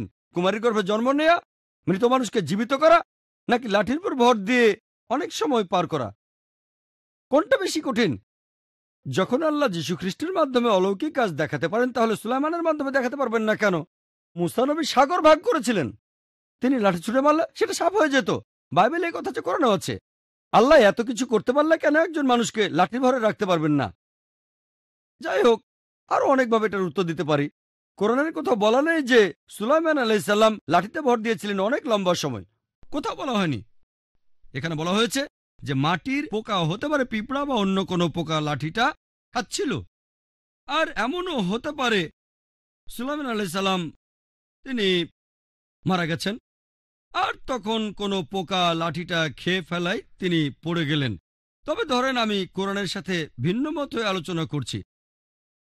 কারণ আপনি একমত হয়ে অথবা ভিন্নমত হয়ে আলোচনা করেন আমি কোরআন একটা আয়াত বলেছিলাম সুরানিসার বিরাশি নম্বর আয়াতে উল্লেখ করা হয়েছে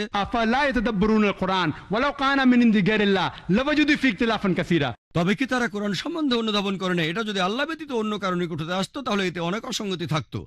আপনি একমত হয়ে আলোচনা করেন অথবা ভিন্ন মত হয়ে যদি যুক্তি মেনে চলেন, আপনি পবিত্র কোরআনে এমন একটা এত পাবেন না যেটা পরস্পর বিরোধী, আর একটা এত পাবেন না যেটা আধুনিক বিজ্ঞানের সঙ্গে সামঞ্জস্যহীন।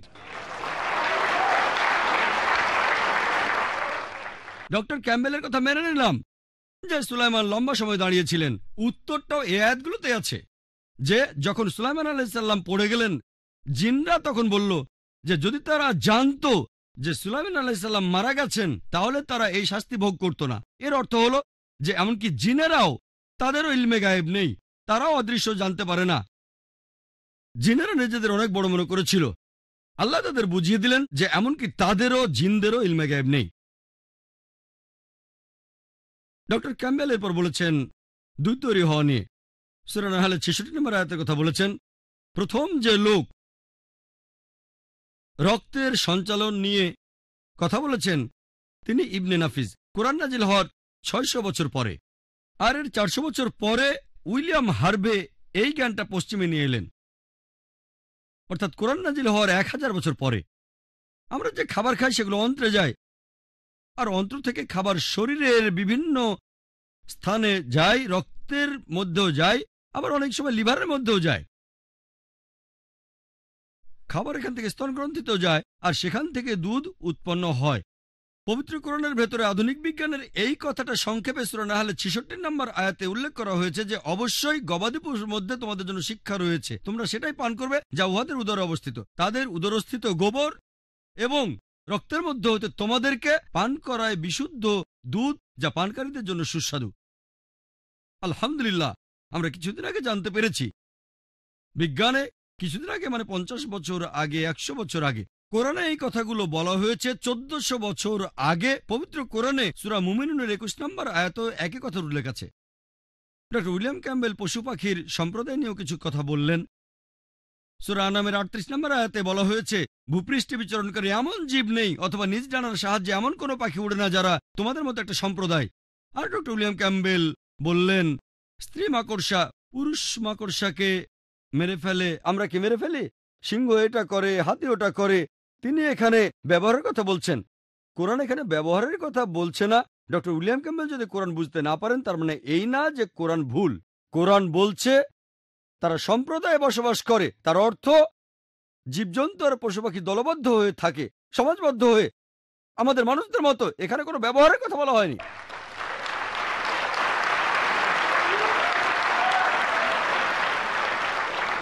আর আজকের বিজ্ঞান বলে যে সব ধরনের পশু পাখি, এছাড়াও পুরো পৃথিবীর সব জীব সম্প্রদায়ভুক্ত হয়ে বাস করে। মানুষের মতোই তারা দলবদ্ধ হয়ে বাস করে।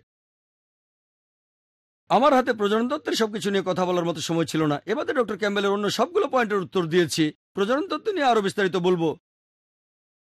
ডক্টর ক্যাম্বেল প্রজনন তত্ত্ব নিয়ে যা বলেছেন সে সম্পর্কে কিছুটা বলেছি। তিনি বললেন ভ্রূণ গঠনের স্টেজগুলো বলে গেছেন হিপোক্রেটাস আর গ্যালেন। তিনি অনেকগুলো স্লাইডও দেখিয়েছেন। এখানে কথা হলো, যদি কেউ কোনো কথা বলে যেটার সাথে কোরআনের মিল আছে, তার মানে এই না যে কোরআন সেখান থেকে নকল করা হয়েছে।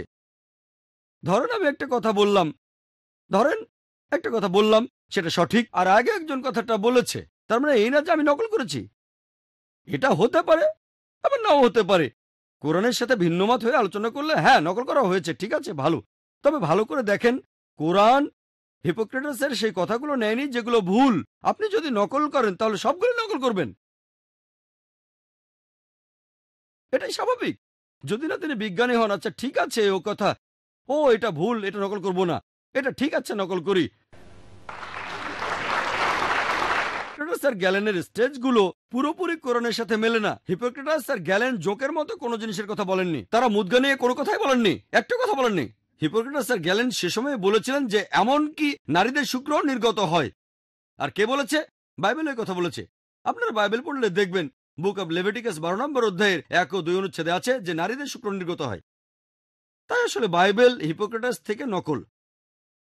এছাড়া বুক অব জবে আছে, দশ নম্বর অধ্যায়, নয় নম্বর ও দশ নম্বর অনুচ্ছেদ বলছে, আমি মানুষকে সৃষ্টি করেছি কাদা থেকে, যেমন দুধ ঢেলে দিয়ে পনির বের করে আনি দুধ ঢেলে পনির বের করে আনা। আর এই কথাটা নকল করা হয়েছে হিপোক্রেটাস থেকে। কেন নকল করা? কারণ ঈশ্বর নিশ্চয়ই কথা বলেননি। এ কথাটা অবৈজ্ঞানিক। এটা বলেছেন হিপোক্রেটাস আর গ্যালেন। গ্রিকরা বলতো যে মানুষ তৈরি হয়েছে পনিরের মতো করে। আর বাইবেলে কোথায় নকল করেছে। তবে কোরআন, আলহামদুলিল্লাহ, যদি প্রজনন তত্ত্বের বইগুলো ভালোভাবে পড়েন ডক্টর কিথ মুর, তিনিও বলেছেন হিপোক্রেটাস আর গ্যালেনের মতো আরও অনেকে প্রজনন তত্ত্বের ব্যাপারে অনেক অবদান রেখেছেন। প্রথম দিকে, এমনকি অ্যারিস্টটলও রেখেছেন। অনেকে ঠিক বলেছেন, অনেকে ভুল বলেছেন। তারপর ডক্টর মুর আরও বলেছেন, এরপর মধ্যযুগে, অথবা যখন আরবরা সবচেয়ে উন্নত ছিল, কোরআন তখনও অতিরিক্ত কিছু কথা বলেছে। যদি কোরআন পুরোটাই নকল হয়ে থাকে, তাহলে ডক্টর কিথ মুর তার বইয়ে কোরআনের প্রশংসা করবেন? তিনি এখানে আরও প্রশংসা করেছেন অ্যারিস্টটল আর হিপোক্রেটাসকে, তবে এই কথা বলেছেন, তাদের ভুল ছিল। কিন্তু কোরআনের কোনো ভুলের কথা তিনি বলেননি। এ থেকে প্রমাণিত হয় যে কোরআন গ্রিকদের কথা নকল করেনি।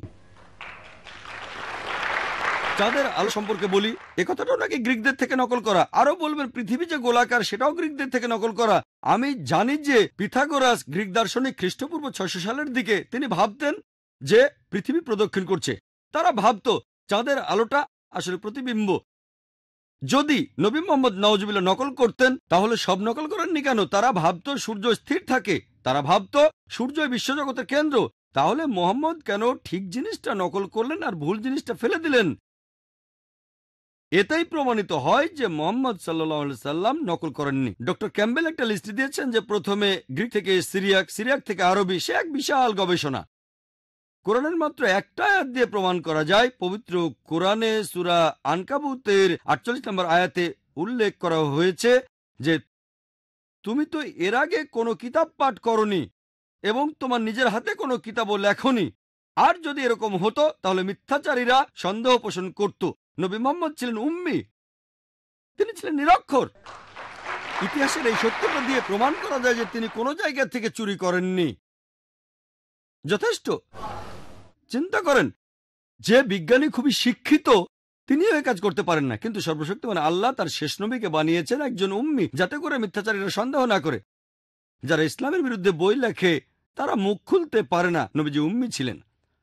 আর বাইবেল সম্পর্কে আমি আরও কিছু কথা বলতে পারি। কোরআনের বিরুদ্ধে ওনার সব অভিযোগের উত্তর আমি দিয়েছি। আলহামদুলিল্লাহ, একটা পয়েন্টও তিনি প্রমাণ করতে পারেননি। কোরআন বিজ্ঞানের বিরুদ্ধে যায় আর আমার দুটোর উত্তর দিয়েছেন, সমাধান হয়নি, তাই বাইশটা সমস্যাই এখনও আছে। বাকি, যে বাইবেল আধুনিক বিজ্ঞানের সাথে সামঞ্জস্যপূর্ণ নয়। তেইশ নম্বর পয়েন্ট, প্রাণীবিজ্ঞানের ক্ষেত্রে প্রাণীবিজ্ঞানের ক্ষেত্রে এটার উল্লেখ আছে। লেভেটিকাসের এগারো নম্বর অধ্যায়ের ছয় নম্বর অনুচ্ছেদে যে খরগোশ গরুর মতো জাবর কাটে। আগেকার দিনে মানুষ এমনটাই জানত, এখন আমরা জানি যে খরগোশ জাবর কাটে না, আর খরগোশের পাকস্থলিতেও কোনো প্রকোষ্ঠ নেই। এছাড়াও আছে প্রভার্বের ছয় নম্বর অধ্যায়ের সাত নম্বর অনুচ্ছেদে যে পিঁপড়াদের কোনো শাসক নেই, কর্তা নেই, প্রধান নেই, এখন আমরা জানি যে পিঁপড়া একটা বুদ্ধিমান কীট। তারা ভাগাভাগি করে তাদের কাজ করে, তাদের সমাজে আছে প্রধান, আছে ফোরম্যান, আছে শ্রমিক। এমনকি একজন রানীও আছে, একজন শাসকও আছে। তাই বাইবেল এখানে অবৈজ্ঞানিক। এছাড়াও উল্লেখ আছে জেনেসিসের তিন নম্বর অধ্যায়ের চোদ্দ নম্বর অনুচ্ছেদে আয়জার ষাট নম্বর অধ্যায়ের পঁচিশ নম্বর অনুচ্ছেদে সাপ ধুলো খায় প্রাণীবিদ্যার কোনো বই বলে না যে সাপ ধুলো খায়। বুক অব লেভিটিকাসের এগারো অধ্যায়ের বিশ অনুচ্ছেদে আছে, যেসব প্রাণীকে তোমরা ঘৃণা করবে, চার পায়ের পাখি এদেরকে ঘৃণা করতে হবে। কিছু বিশেষজ্ঞ বলেন, হিব্রু উপশব্দের সঠিক অনুবাদ পাখি নয়, কিং জেমস ভার্সনে এটা কীটপতঙ্গ যারা উঠতে পারে। আর নতুন ইন্টারন্যাশনাল ভার্সনে যে প্রাণীটা উঠতে পারে, তবে এখানে বলা আছে সেই সব কীটপতঙ্গ। যাদের চারটি পা আছে, তাদের তোমরা ঘৃণা করো, এদেরকে পরিহার করো। আমি ডক্টর উইলিয়াম ক্যাম্বেলকে প্রশ্ন করব, কোন কীটের চারটা পা? এমনকি যে ছেলেটা প্রাইমারি স্কুল পাশ করেছে, সেও জানে কীটপতঙ্গের ছটা পা। পৃথিবীতে এমন কোনো পাখি নেই, এমন কোনো উড়ন্ত প্রাণী নেই, এমন কোনো প্রাণী নেই যার চারটা পা আছে। এছাড়াও বাইবেলে কাল্পনিক কিছু প্রাণীর কথা, রূপকথার কিছু প্রাণীর কথা উল্লেখ আছে যেন বাস্তবে সেগুলো আছে। যেমন ধরেন ইউনিকর্ন, এটার উল্লেখ আছে বুক অব আইজায় চৌত্রিশ নম্বর অধ্যায়ের সাত নম্বর অনুচ্ছেদে ইউনিকর্নের কথা বলা হয়েছে। যেন সেগুলো আসলেই আছে। ডিকশনারিতে দেখবেন ইউনিকর্ন হলো সেই প্রাণী যার ঘোড়ার মতো শরীর আর মাথায় একটা শিং। এমন কোনো প্রাণী বাস্তবে নেই। আমার সময় প্রায় শেষ। আমার কথায় যদি খ্রিস্টান ভাই বোনদেরকে আহত হয়ে থাকেন সেজন্য ক্ষমা চাচ্ছি। আমার উদ্দেশ্য সেটা ছিল না। আমি শুধু ডক্টর উইলিয়াম ক্যাম্বেলের বইটার উত্তর দিতে চেয়েছিলাম যে কোরআন আধুনিক বিজ্ঞানের সাথে সামঞ্জস্যপূর্ণ আর বাইবেল মেনে নিচ্ছে এখানে কিছু অংশ ঈশ্বরের কথা। পুরোপুরি ঈশ্বরের কথা নয়, এটা আসমানি কিতাব নয়। লেকচার শেষ করার আগে আমি পবিত্র কোরআনের সুরা ইসরার একাশি নম্বর আয়াতের উদ্ধৃতি দিচ্ছি। যখন সত্য সে মিথ্যা সামনে দাঁড়ায় মিথ্যা বিলুপ্ত হয়। কারণ মিথ্যা তার প্রকৃতিগত কারণে বিলুপ্ত হবে। ও আখের দাওয়ান আলহামদুলিল্লাহ রবিল্লা আলমী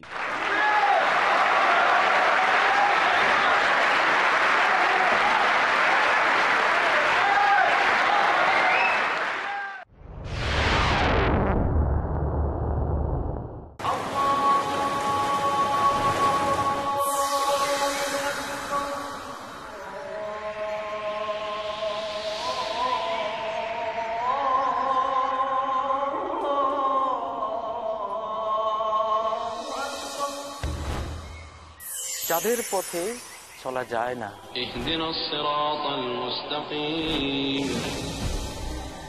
তারা কারা? প্রতি রাকাত চলাতে তো তাদের কথাই পড়ছি। গায়রিল মাগদুব আলাইহিম ওয়ালাদ-দাল্লিন সিরাতাল লাযীনা আন'আমতা আলাইহিম গায়রিল মাগদুব আলাইহিম ওয়ালাদ।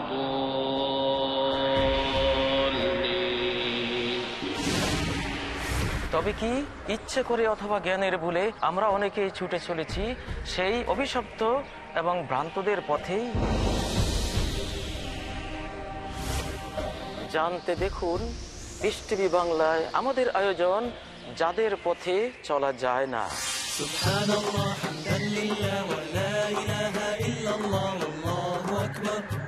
سبحان الله حمدا لله ولا إله إلا الله والله أكبر জানেন কেন ইসলাম মন্দ পথকে নির্বাচন না করার নির্দেশ দিয়েছে। যাদের পথে চলা যায় না। প্রতি রবিবার রাত দশটায় বা পুনঃ সম্প্রচার সকাল সাড়ে আটটায় বাংলাদেশে। পিস টিভি বাংলায়।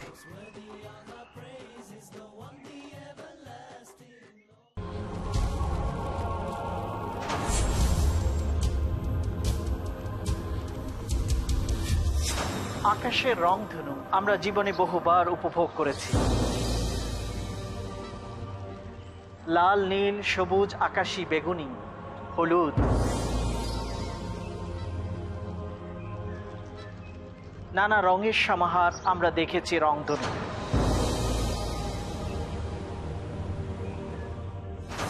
কিন্তু জীবনের রংধনুকে কখনো কি আমরা বিশ্লেষণ করে দেখেছি?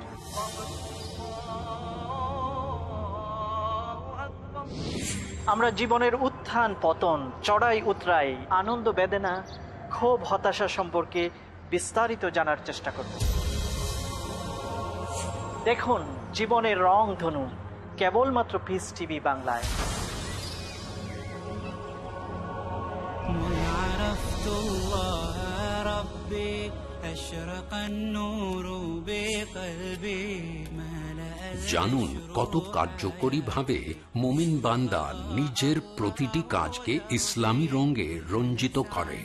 জীবনের রংধনু প্রতি মঙ্গলবার রাত দশটায় বা পুনঃ সম্প্রচার। সকাল সাড়ে আটটায় বাংলাদেশে। পিস বাংলায়। কোরআন একটা চূড়ান্ত বার্তা। মহাবিশ্বের মহাবিস্ময় মহাগ্রন্থ আল কোরআন দিয়ে আমাদের হেদায়েতের ব্যবস্থা করেছেন। Quran will remain as the most modern book ever. এমন এক কিতাব, যেই কিতাব দিয়ে মানুষের সব সমস্যার সমাধান করা যায়। সমাজের মধ্যে আল্লাহ সুবহানাহু কোরআনকে রাখবেনই। কোরআন শুধুমাত্র মুমিনদের সম্পদ নয়, কোরআন হচ্ছে বিশ্ব মানবতার মহান সম্পদ।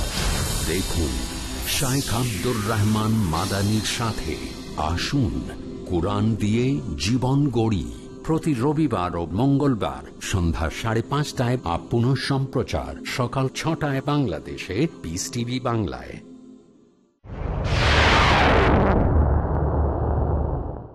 ধন্যবাদ, ডক্টর ক্যাম্বেল এবং ডক্টর জাকির নায়েক।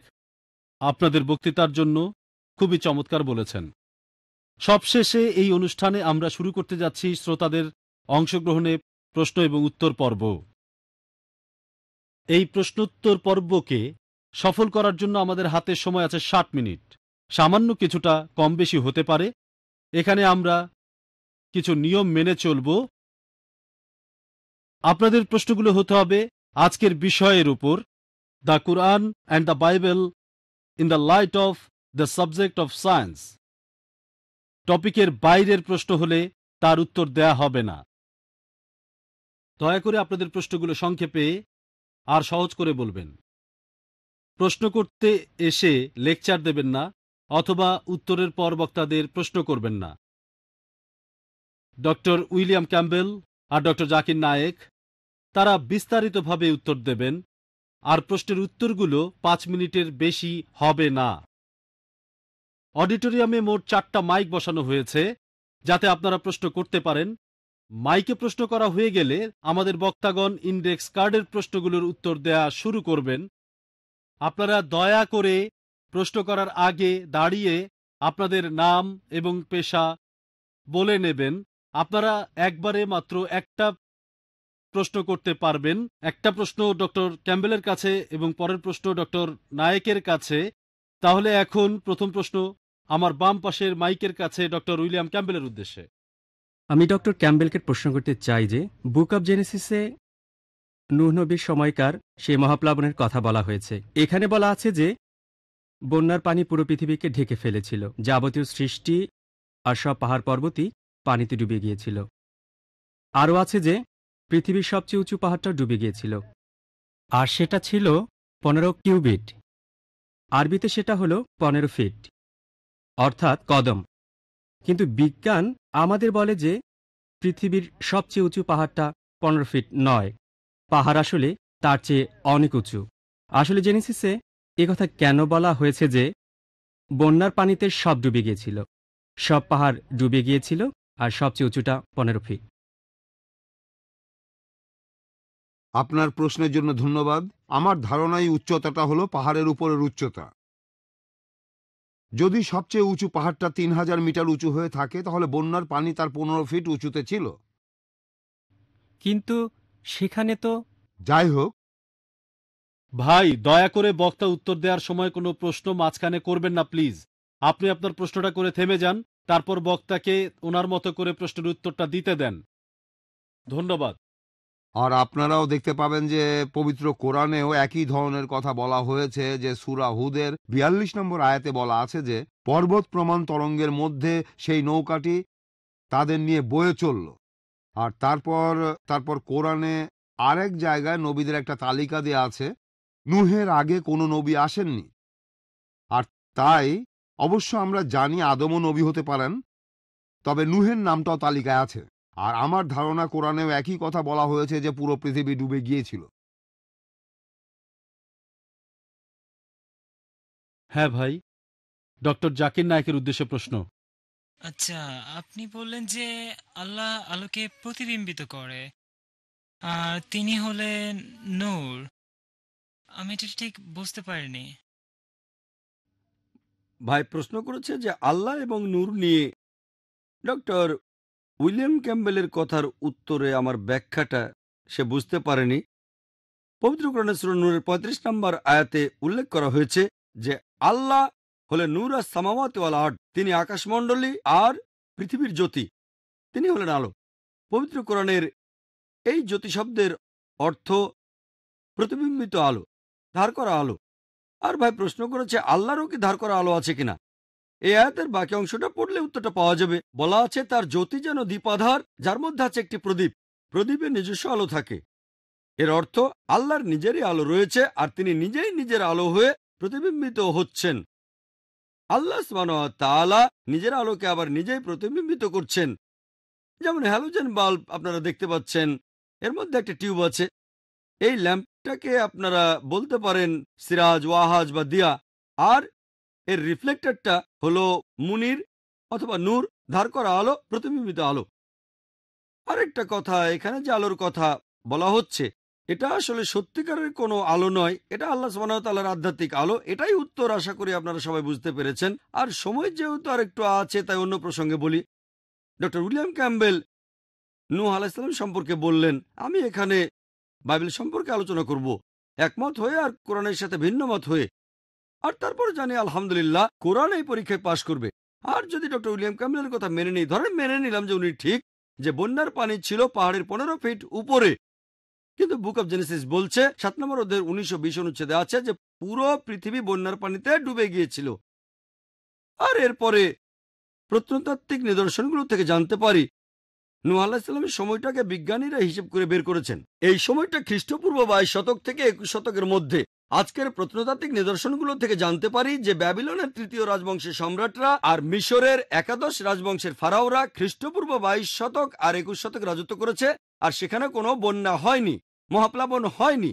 আজকের প্রত্নতাত্ত্বিক নিদর্শন বলে যে এটা অসম্ভব, খ্রিস্টপূর্ব বাইশ শতক থেকে একুশ শতকের মহাপ্লাবনে পুরো পৃথিবী ডুবে গিয়েছিল। কোরআন এখানে কি বলছে? কোরআন কি বলছে? এক নম্বর পয়েন্ট, কোরআনে কোনো সময়ের উল্লেখ নেই। এটা কি খ্রিস্টপূর্ব একুশ শতক নাকি পঞ্চাশ শতক? এমন কোনো উল্লেখ নেই। দুই নম্বর পয়েন্ট। কোরআনে কোথাও বলা হয়নি যে পৃথিবী পানিতে ডুবে গিয়েছিল। এখানে বলা হয়েছে নু আলাহিসাল্লাম আর তার কমের লোকজনের কথা, তার গোত্রের কথা। হতে পারে অল্প কিছু লোকজন অথবা অনেকগুলো লোকজন। প্রত্নতাত্ত্বিক নিদর্শন আমাদের বলে, আর প্রত্নতাত্ত্বিকরাও বলেন যে তাদের কোনো আপত্তি নেই। এটা হতে পারে যে পৃথিবী কিছু অংশ পানিতে ডুবে গিয়েছিল, কিন্তু পুরো পৃথিবী এটা সম্ভব। তাই আলহামদুলিল্লাহ, কোরআনের কথার সাথে প্রত্নতাত্ত্বিক নিদর্শনে যথেষ্ট মিল রয়েছে, কিন্তু বাইবেলের নেই। এছাড়াও বাইবেলে আছে জেনেসিসের ছয় নম্বর অধ্যায় পনেরো ও ষোলো নম্বর অনুচ্ছেদে, এখানে সৃষ্টিকর্তা নু আলাইসালামকে বলেছেন, তুমি একটা নৌকা বানাও, নৌকার মাপটাও দেওয়া আছে। তিনশো কিউবিট লম্বা, পঞ্চাশ কিউবিট চওড়া আর তিরিশ কিউবিট উঁচু। এক কিউবিট মানে দেড় ফুট। ভাই, এটা ভুল বলেছিলেন। এটা হলো দেড় ফুট।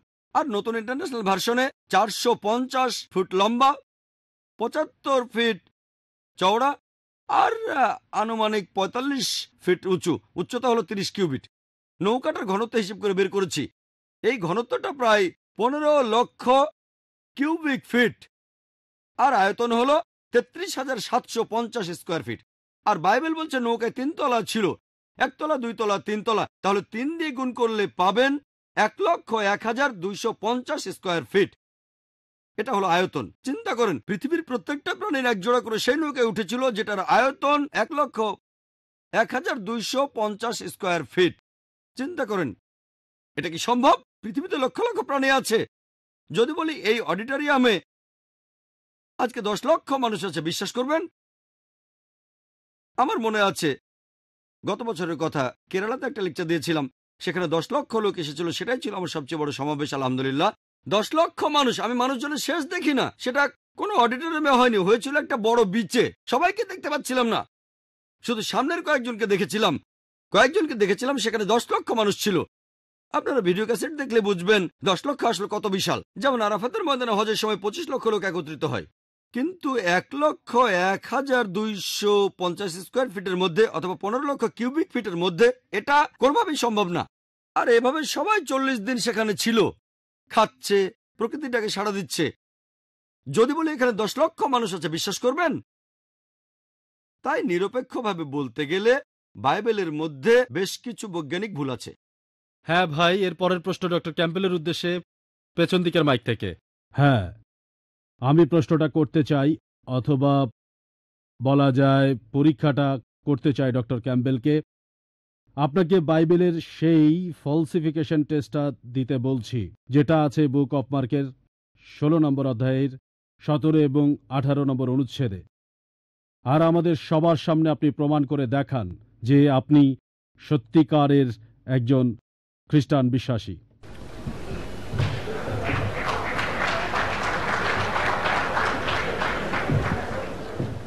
আমি এখানে ডক্টর নায়কের ব্যাখ্যার সাথে একমত নই। ঈশ্বর যীশুখ্রিস্টকে পরীক্ষায় ফেলা হয়েছে। সেখানে শয়তান বলছে যে, তুমি ঈশ্বরের পুত্র হলে মন্দিরের উপর থেকে লাভ দাও। আর যিশু বললেন যে, তোমার আপন প্রভু ঈশ্বরকে পরীক্ষা করো না। এখন আমি যদি আপনার কথা মেনে নিয়ে বলি যে হ্যাঁ আমি এখানে একটা অলৌকিক কাজ করে দেখাবো। সেটা ঈশ্বরকে পরীক্ষা করা হবে। আমার বন্ধু হ্যারি র্যাডক্লিফ সে কথা দিয়েছিল দাওয়াতে যাবে। তাই সে কথা রাখার জন্য দাওয়াতে গিয়েছিল। আর ঈশ্বরের কাছে নিজেকে সঁপে দিয়েছিল এটা আলাদা পরিস্থিতি আমি ঈশ্বরকে পরীক্ষা করব না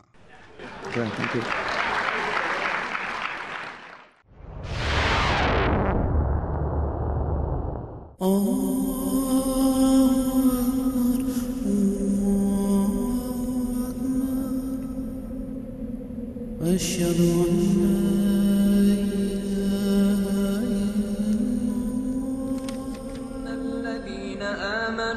وعملوا الصالحات وأقاموا الصلاة وآتوا الزكاة لهم أجرهم لهم أجرهم عند ربهم ولا خوف عليهم ولا هم يحزنون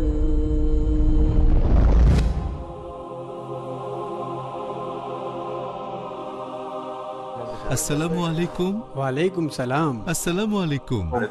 আমি আমাদের এই ধর্মের আসল সৌন্দর্য অন্যদের কাছে ছড়ানোর জন্য চেষ্টা করছি কিন্তু দুর্ভাগ্যবশত আমি ইসলামের বাণী ছড়ানোর কোনো উপায় খুঁজে পাইনি। আমার কাছে এর সমাধান আছে যেহেতু আমি কোনো আলিম নয় তাই আমি বেছে নিয়েছি পিস টিভিকে একটি আন্তর্জাতিক খ্যাতি সম্পন্ন ইসলামিক টেলিভিশন চ্যানেল। একটা টেলিভিশন চ্যানেলকে কি জাকাত দেওয়া যাবে? হ্যাঁ সত্যি? যদি এটা হয় non profit Islamic television channel Peace TV নয় কেন নয়? পৃথিবীর বড় বড় আলেমগণের নিকট থেকে ফতোয়া এসেছে, যা বলে যে জাকাত দেওয়া যাবে কোনো অলাভজনক ইসলামিক স্যাটেলাইট টেলিভিশন চ্যানেলকে, যার মূল লক্ষ্য হচ্ছে ইসলামের সঠিক বাণী ছড়িয়ে দেওয়া। পিস টিভির সাথে থাকুন। আপনার জাকাত দানের অর্থ পাঠাতে পারেন আইআরএফআই আলট্রায়ন ব্যাংক কোয়াড্রান কোড আটচল্লিশ Calthorpe road, Birmingham, UK.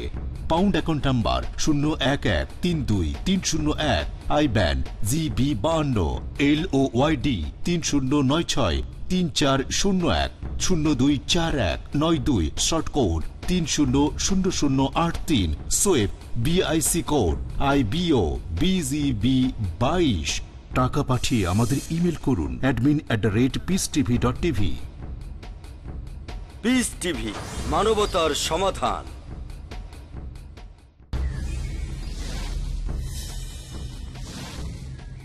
এবাদত আমল করলেই কি হয়ে যায়? ভাবেন কি যা কিছু করছেন তাই? অবশ্যই নয়। যতক্ষণ না আমল, এবাদত, কবুল ও সংরক্ষণের শর্ত পূর্ণ হয়। জানতে হলে দেখুন আমার আলোচনা একমাত্র পিস টিভি বাংলায়।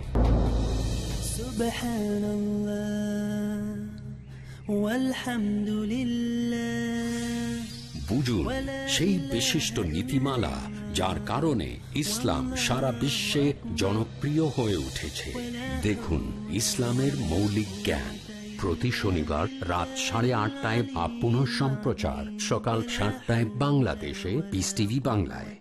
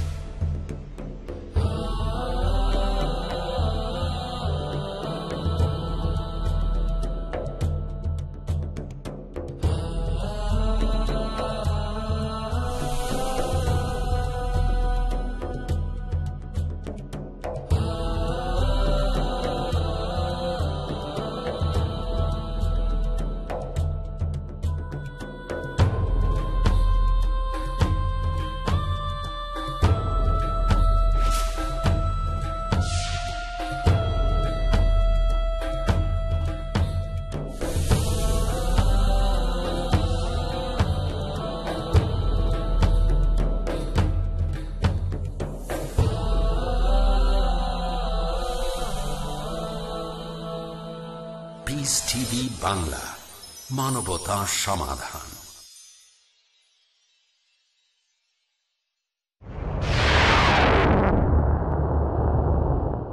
আপনি কি ডক্টর নায়ককে প্রশ্ন করতে চান? প্লিজ। হ্যাঁ ঠিক আছে। আমার প্রশ্ন ডাক্তার জাকির নায়কের কাছে। খ্রিস্টানরা বৈজ্ঞানিকভাবে ট্রিনিটি ব্যাপারটার ব্যাখ্যা দেওয়ার চেষ্টা করে। এখানে তারা উদাহরণ হিসেবে বলে পানির কথা। পানি তিন আকারে থাকতে পারে কঠিন তরল আর বায়বীয়। তার মানে হতে পারে বরফ পানি বা বাষ্প। একইভাবে একজন ঈশ্বর হলেন তিনজন মিলে একজন, অর্থাৎ পিতা, পুত্র ও পবিত্র আত্মা। এই ব্যাখ্যাটা কি বৈজ্ঞানিকভাবে সঠিক? আপনার উত্তরটা দেওয়ার আগে আমি একটা কথা বলে নেই। আমরা ঈশ্বরকে পরীক্ষা করব না। ঈশ্বরকে পরীক্ষায় ফেলব না। এখানে ঈশ্বরকে পরীক্ষা করছি না। পরীক্ষা করতে চাচ্ছি মানুষকে। আমরা ঈশ্বরকে পরীক্ষা করব না। তবে আপনাকে পরীক্ষা করছি। ঈশ্বর কথা দিয়েছেন যে, কোনো বিশ্বাসী যদি বিষপান করে, সে তাহলে মরবে না। সে বিদেশি ভাষায় কথা বলতে পারবে। ঈশ্বরকে পরীক্ষা করছি না। ঈশ্বর ঠিক বলেছেন। তিনি নিশ্চিত করবেন যাতে বিশ্বাসীরা কথা বলতে পারে। আমরা পরীক্ষা করছি আপনি বিশ্বাসী কিনা। এবারে প্রশ্নে আসি। বোন বললেন যে, অনেক খ্রিস্টানই বলেন যে, বৈজ্ঞানিকভাবে তারা ট্রিনিটির ধারণা প্রমাণ করতে পারবে। যেমন ধরেন, পানি তিন অবস্থায় থাকে, কঠিন, তরল আর বায়বীয়। অর্থাৎ বরফ, পানি আর বাষ্প। একইভাবে ঈশ্বর থাকেন তিন অবস্থায়, পিতা, পুত্র, পবিত্র আত্মা। এর উত্তরে কি বলব? আর এটা কি বিজ্ঞানসম্মত? বৈজ্ঞানিকভাবে আমি মেনে নিচ্ছি যে পানি তিন অবস্থায় থাকে। কঠিন, তরল, বায়বীয়। বরফ, পানি আর বাষ্প। কিন্তু বৈজ্ঞানিকভাবে এটাও জানি যে পানির উপাদান সবসময় একই থাকে। এইচ টু ও হাইড্রোজেনের দুটো আর অক্সিজেনের একটা পরমাণু থাকে। উপাদানের পরিবর্তন হয় না। পানির উপাদান একই থাকে, শুধু আকৃতির পরিবর্তন হয়, কোনো সমস্যা নেই। এখন আমরা ট্রিনিটির ধারণা দেখব। ট্রিনিটির ধারণা। পিতা, পুত্র, পবিত্র আত্মা। এখানে বদলাচ্ছে আকার। আচ্ছা তর্কের খাতিরে মেনে নিলাম। উপাদানটা কি বদলাচ্ছে? ঈশ্বর আর পবিত্র আত্মা রক্তমাংসের নয়, আর মানুষ তৈরি হয় রক্তমাংস দিয়ে। উপাদান এক নয়। মানুষের খাওয়ার দরকার হয়। ঈশ্বরের কখনো কিছু খাওয়ার দরকার নেই, তারা এক উপাদানের নয়। আর যীশুখ্রিস্ট এই কথাটার প্রমাণ দিয়েছেন নিজেই। গসপেল অফ লুক, চব্বিশ নম্বর অধ্যায়ের অনুচ্ছেদ ছত্রিশ থেকে উনচল্লিশে। যিশু বলেছেন যে, আমার হাত পা দেখো, আমাকে স্পর্শ করে দেখো কারণ আত্মার অস্থি মাংসের শরীর থাকে না। তিনি বলেছেন, আমাকে স্পর্শ করে দেখো, আমার হাত পা দেখো, আত্মার অস্থি মাংসের শরীর থাকে না। যিশু হাত বাড়িয়ে দিলেন, শিষ্যরা দেখল, তার আনন্দে উৎফুল্ল হলো। তিনি তাদের বললেন, তোমাদের কাছে কি খাওয়ার মতো কিছু আছে? তারা তাকে ভাজা মাছ আর মধু এনে খেতে দিল। যিশু খেলেন, কি প্রমাণ করতে? তিনি ঈশ্বর। এই জন্য যে তিনি ঈশ্বর না, খাবার খেলেন। অস্থিমাংসের শরীর, আত্মার অস্থিমাংসের শরীর থাকে না। এটাই প্রমাণ হয় যে পিতা পুত্র আর পবিত্র আত্মার উপাদানগুলো এক নয়। পিতা যীশুখ্রিস্ট আর পবিত্র আত্মা সব মিলিয়ে সৃষ্টিকর্তা। আর ট্রিনিটির এই মতবাদ এই ট্রিনিটির শব্দটা বাইবেলের কোনো জায়গায় খুঁজে পাবেন না। ট্রিনিটি শব্দটা বাইবেলে নেই কিন্তু কোরআনের শব্দটা আছে। পবিত্র কোরআনের সুরা নিসার একশো একাত্তর নম্বর আয়াত উল্লেখ করা হয়েছে তোমরা ট্রিনিটি বলো না। এটাই তোমাদের জন্য কল্যাণকর। এছাড়াও পবিত্র কোরআনের সুরা মাইদা তিয়াত্তর নম্বর আয়াতে উল্লেখ করা হয়েছে তারা কুফরি করছে ধর্মের অবমাননা করছে। যারা বলে যে আল্লাহ তো তিনের মধ্যে একজন তিন স্রষ্টার একজন। আর ইসাল্লাম কখনোই বলেননি যে তিনি ঈশ্বর। ট্রিনিটির এই মতবাদ বাইবেলের কোথাও নেই। একমাত্র যে অনুচ্ছেদটা ট্রিনিটির কাছাকাছি আসতে পারে সেটা হচ্ছে ফার্স্ট এপিস্টল অফ জনের পাঁচ নম্বর অধ্যায় সাত অনুচ্ছেদ। এখানে বলা আছে স্বর্গের মালিক হলেন তিনজন পিতা, পুত্র এবং পবিত্র আত্মা আর এই তিনজন একই। কিন্তু যদি নতুন রিভাইজ ভার্সনটা দেখেন, যেটা সংশোধন করেছেন বত্রিশ জন বিশেষজ্ঞ, খ্রিস্টান বিশেষজ্ঞ, উঁচু পর্যায়ের ধর্মীয় নেতা, যাদের পেছনে রয়েছে পঞ্চাশটা খ্রিস্টান ডিনোমিনেশন তারা বলেছেন, বাইবেলের এই অনুচ্ছেদ ফার্স্ট এপিস্টল অব জন পাঁচ নম্বর অধ্যায়, সাত নম্বর অনুচ্ছেদটা অন্যায়ভাবে ঢোকানো হয়েছে। এটা বানোয়াট আষাঢ়ে গল্প, এটা বাইবেল থেকে বাদ দেওয়া হয়েছে।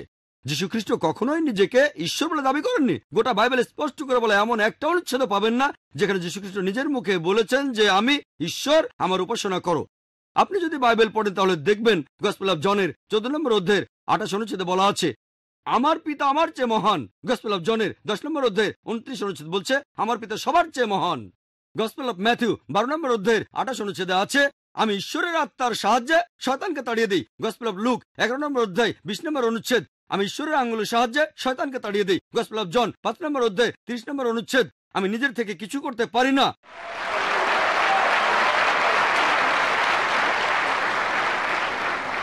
আমি নিজের থেকে কিছুই করতে পারি না। আমি যেমন শুনি, তেমন বিচার করি, আর আমার বিচার ন্যায্য। কারণ আমি আমার ইচ্ছা পূরণ করি না, পিতার ইচ্ছা পূরণ করি।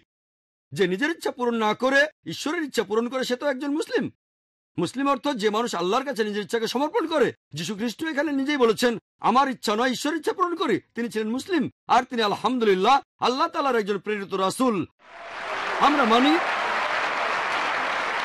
বিশ্বাস করি তিনি অলৌকিকভাবে জন্মেছিলেন, কোন পুরুষের অরুজাত ছিলেন না। বিশ্বাস করি তিনি ঈশ্বরের নির্দেশে মৃত মানুষকে জীবিত করেছেন। আমরা মানি, তিনি ঈশ্বরের নির্দেশে অন্ধ আর পঙ্গু মানুষকে সুস্থ করেছেন। আমরা যীশু খ্রিস্টকে সম্মান করি, তিনি ঈশ্বরের একজন প্রেরিত রাসুল। কিন্তু তিনি ঈশ্বর নন আর ট্রিনিটি নামের কোনো কিছুর অংশও তিনি নন। ট্রিনিটি বলে কিছু নেই। কোরআন বলছে কুল আল্লাহ আহাদ বলো তিনি আল্লাহ এক অদ্বিতীয়। এর পরের প্রশ্ন ডক্টর। ক্যাম্বেলের উদ্দেশ্যে এখান থেকে ধন্যবাদ। হ্যাঁ ভাই। আসসালামু আলাইকুম। আলহামদুলিল্লাহ প্রথমেই বলি সমস্ত প্রশংসা আল্লাহর সমস্ত প্রশংসা এই মানব জাতির এক সৃষ্টিকর্তার। আপনাদের আজকের আলোচনা খুবই আকর্ষণীয় ছিল। এই আলোচনায় আমরা সবাই এখানে উপস্থিত খ্রিস্টান মুসলমান সব ধর্মই উপকৃত হয়েছি সবাই উপকার পেয়েছি আর আমরা এখানে আজ এসেছি এখানে আমাদের প্রশ্ন করেন প্রশ্ন করেন প্লিজ আচ্ছা আচ্ছা বিসমিল্লাহ আল্লাহর নামে শুরু করছি। কোশ্চেন প্লিজ আচ্ছা আজকে এই আলোচনা অনুষ্ঠানে আমরা যে এসেছি এতে সবাই উপকার হয়েছে। আর আমি ডক্টর ক্যাম্বেলকে প্রশ্ন করছি তার পাশাপাশি তার সঙ্গীদেরকেও প্রশ্ন করছি। আজকের এই আলোচনায় আপনাদের কোনো পরিবর্তন কি এসেছে? আপনার চোখ কি এতে খুলেছে? বা অন্তত পক্ষে ইসলাম ধর্ম সম্পর্কে আপনার মনে কি কোনো আগ্রহ তৈরি হয়েছে? আমি আপনার প্রশ্নের উত্তরটা দেওয়ার আগে ডক্টর নায়কের উত্তরটা দেই। ডক্টর নায়ক বললেন যে যীশু খ্রিস্ট কখনোই নিজেকে ঈশ্বর দাবি করেননি। বুক অব মার্ক চোদ্দ অধ্যায় একষট্টি অনুচ্ছেদ। তিনি উত্তর দিলেন, না। তারপর প্রধান পুরোহিত আবার প্রশ্ন করল, যিশুকে জিজ্ঞাসা করল, তুমি কি খ্রিস্ট, তার সন্তান যিনি পরমধন্য? অন্য কথায়, তুমি কি ঈশ্বরের পুত্র খ্রিস্ট? আর যিশু বললেন হ্যাঁ আমি। তিনি বলেছেন যে তিনি ঈশ্বরের পুত্র। তিনি বলেছেন যে তিনি ঈশ্বর। আর এই কথা বাইবেলেও পরিষ্কার বলা আছে। আমি বুঝতে পারছি ডক্টর নায়ক তার সুবিধা মতো অনুচ্ছেদের উদ্ধৃতি দিচ্ছেন, সবগুলোর কথা বলছেন না। উনি আরও বলেছেন, যিশু শুধু মানুষই ছিলেন। কিন্তু যিশু এটাও বলেছেন যে তিনি আর তার পিতা একই। বলা হয়েছে আদিতে বাক্য ছিলেন এবং বাক্য ঈশ্বরের সাথে ছিলেন এবং বাক্য ছিলেন ঈশ্বর। আর ঈশ্বরই আমাদের মাঝে রক্ত মাংসের শরীর নিয়ে এসেছেন। যিশুর ব্যাপটিজমের সময় ঈশ্বর বললেন যে, এই হলো আমার সুপ্রিয় পুত্র। যিশু সেখানেই ছিলেন। আর পবিত্র আত্মা নেমে এলো। পিতা, পুত্র আর পবিত্র আত্মা। এই ব্যাপারটা কোনোভাবে আমাদের মাথা থেকে গজায়নি। এই কথাটাই আমি বলতে চেয়েছিলাম। আর এখানে একজন বন্ধু প্রশ্ন করলেন, আমরা আজ অনেক কিছু শিখেছি, আর আমরা অনেক কিছু শিখেছি, আমি সবসময় শিখতেই চাই। এখানে আমি বলব যে যীশু খ্রিস্টের পুনরুত্থানের সময় পাঁচশো জনেরও বেশি লোক সেটা সাক্ষী ছিল। যিশুর উপরই আমার বেশি ভরসা, আর মোহাম্মদ এসেছে আরও ছয়শো বছর পরে সাক্ষী মাত্র একজন। ধন্যবাদ। এবারে প্রশ্ন ডক্টর জাকিরের কাছে। হ্যাঁ বোন ডক্টর ক্যাম্বেল প্রথমে কোরআন সম্পর্কে বেশ কিছু ভুল অভিযোগ আনলেন। বিশ্বজগৎ সম্পর্কে কোরআনের কথাগুলো। আর আপনিও তার দেয়া যুক্তিগুলো খণ্ডন করলেন। তবে আমি যেটা জানতে চাচ্ছি বাইবেলে পৃথিবীর আকার আর অন্যান্য বিষয়ে কি বলা হয়েছে? বোন প্রশ্ন করলেন যে বাইবেলে পৃথিবীর আকার সম্পর্কে কি বলা হয়েছে সেটা আমি সময়ের অভাবে বলতে পারিনি। আর সময়ের অভাবে এখানে অনেক কিছু হয়তো বলতে পারব না। যাই হোক বোন, জানতে চেয়েছেন বাইবেলে পৃথিবীর আকার সম্পর্কে কি বলা হয়েছে। আর আপনি দেখবেন বাইবেলের গসপেল অফ ম্যাথিউ চার নম্বর অধ্যায়ের আট নম্বর অনুচ্ছেদে বলা আছে, ডক্টর ক্যাম্বেল শয়তানের সাথে যিশুর কথাবার্তা নিয়ে অনুচ্ছেদটা বলেছিলেন। শয়তান তাকে নিয়ে গেল যীশু খ্রিস্টকে নিয়ে গেল, খুব উঁচু একটা পাহাড়ের চূড়ায়। আর যিশুকে পৃথিবীর সবগুলো রাজ্যে এবং সেগুলোর সৌন্দর্য দেখাল। গসপেল অফ লুক চার নম্বর অধ্যায়ের পাঁচ নম্বর অনুচ্ছেদে, শয়তান তাকে নিয়ে গেল উঁচু পাহাড়ে আর পৃথিবীর সবগুলো রাজ্যের প্রতাপ দেখাল। এখন যদি পৃথিবীর সবচেয়ে উঁচু পাহাড়ে ওঠেন, পৃথিবীর সবচেয়ে উঁচু পর্বত শৃঙ্গ মাউন্ট এভারেস্ট, আর ধরেন আপনার চোখের দৃষ্টি খুবই প্রখর এবং আপনি সেখান থেকে হাজার মাইল দূরে দেখতে পান, তারপরেও আপনি পৃথিবীর সবগুলো রাজত্ব কোনোভাবেই দেখতে পাবেন না। কারণ আমরা জানি যে আমাদের পৃথিবী গোলাকার। আর আপনি সে রাজ্যগুলো দেখবেন না, যেগুলো পৃথিবীর অন্য প্রান্তে রয়েছে। শুধুমাত্র তখনই দেখতে পারতেন যদি পৃথিবী সমতল হতো। পবিত্র বাইবেলে এমন বিবরণ দেওয়া আছে যে পৃথিবী সমতল। আবারও একই কথা আছে বাইবেলে, বুক অব ড্যানিয়েল, চার নম্বর অধ্যায়ের দশ এগারো অনুচ্ছেদে। বলা আছে, একটা গাছ লম্বা হয়ে আকাশে পৌঁছে গেল, আর গাছটা যখন আকাশের সীমা ছাড়িয়ে গেল, গাছটা এত বড় হলো যে পৃথিবীর প্রত্যেক প্রান্তের মানুষই গাছটা তখন দেখতে পেত। এটা তখনই সম্ভব হতো যদি পৃথিবী সমতল হতো। গাছটা অনেক লম্বা ছিল, আর পৃথিবী সমতল হলে এটা সম্ভব হতো। আজকে আমরা সবাই জানি যে পৃথিবী আসলে বর্তুলাকার, আর আপনি কোনোভাবেই গাছটা দেখতে পাবেন না, সেটা যত লম্বাই হোক না কেন, যদি আপনি বর্তুলাকার, এই পৃথিবীর উল্টো পাশে থাকেন। এরপর বাইবেলে আরও উল্লেখ আছে, ফার্স্ট ক্রনিকলস, ষোলো নম্বর অধ্যায়ের তিরিশ অনুচ্ছেদে, যে পৃথিবী গতিশীল নয় একই কথা আছে বুক অব শামস তিরানব্বই নম্বর অধ্যায়ের এক অনুচ্ছেদে, যে সর্বশক্তিমান ঈশ্বর পৃথিবীকে থামিয়ে দিয়েছেন, যার অর্থ পৃথিবী গতিশীল নয়। আর নতুন ইন্টারন্যাশনাল ভার্সনে রয়েছে, ঈশ্বর হস্তক্ষেপ করেছেন। আর পৃথিবীকে থামিয়ে দিয়েছেন যাতে করে এক মিনিট, পৃথিবী, এক মিনিট বাকি নাকি চুপ থাকতে বলছেন? ভাবলাম এক মিনিট চুপ থাকতে বলছেন। ডক্টর উইলিয়াম ক্যাম্বেল বললেন, যীশুখ্রিস্ট বাইবেলের অনেক জায়গায় উল্লেখ করেছেন যে তিনি ঈশ্বর, আপনারা আমার ভিডিও ক্যাসেট দেখতে পারেন concept of God in major religions সব রেফারেন্স সহ আমি উত্তর দিচ্ছি সেখানে। উনি শুধু উদ্ধৃতি দিয়েছেন, আমি রেফারেন্সটাও বলছি। আমি এবং আমার পিতা এক, এটা আছে জনের দশ নম্বর অধ্যায়ের তিরিশ নম্বর অনুচ্ছেদে। আর আদিতে ছিলেন বাক্য, এটা আছে জনের এক নম্বর অধ্যায়ের এক অনুচ্ছেদে। এগুলো ভালোভাবে পড়লেই দেখতে পাবেন। যীশু খ্রিস্ট কখনোই নিজেকে ঈশ্বর দাবি করেননি। আপনারা আমার ভিডিও ক্যাসেট দেখতে পারেন, বাইরে কিনতে পারবেন। Concept of God in major religions R similarities between Islam and Christianity সেখানে বিস্তারিত পাবেন যীশু খ্রিস্ট কখনোই নিজেকে ঈশ্বর দাবি করেননি। থ্যাংক ইউ আল্লাহর একত্বের প্রতি ভরসা। একনিষ্ঠভাবে একমুখী হয়ে সব দিক থেকে তাকে এক জানতে হবে।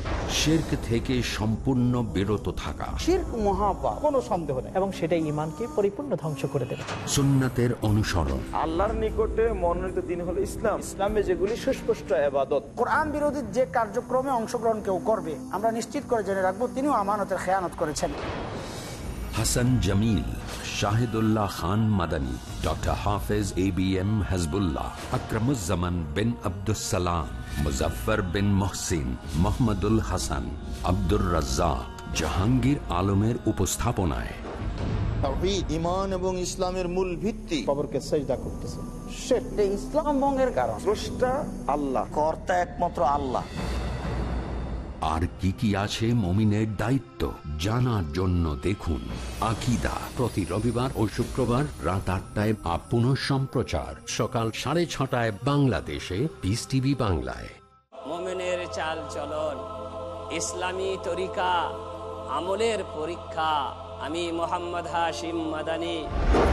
শেখ হাসিম মাদানী। আর আপনারা দেখছেন পিস টিভি বাংলা। কেন জীবনের সফলতার জন্য দরকার? ইসলামী তরিকার জানার জন্য দেখুন ইসলামী নৈতিকতা।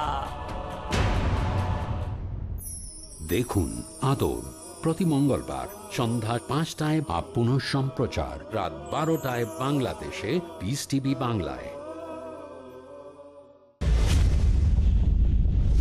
আমরা অনেক গুনাহের কাজ করি দিনে আর রাতে সকাল আর সন্ধ্যায়। জেনে আর না জেনে। কিন্তু কিছু গুনাহ রয়েছে। কবিরা জাল্লা সুফানা হুয়া তাআলা তওবা করা ছাড়া ক্ষমা করে দেবেন না। শাহ ওয়ালিউল্লাহ। কিন্তু বন্ধু জানেন কোনটি কবিরা গুনাহ? বেঁচে থাকতে চান কবিরা গুনাহ থেকে? তাহলে যোগ দিন আমার সাথে। পিস টিভি বাংলায়। দেখুন বড় গুণা প্রতি সোমবার ও শনিবার সন্ধ্যা সাড়ে পাঁচটায় বা পুনঃ সম্প্রচার। সকাল ছটায় বাংলাদেশে পিস টিভি বাংলায়।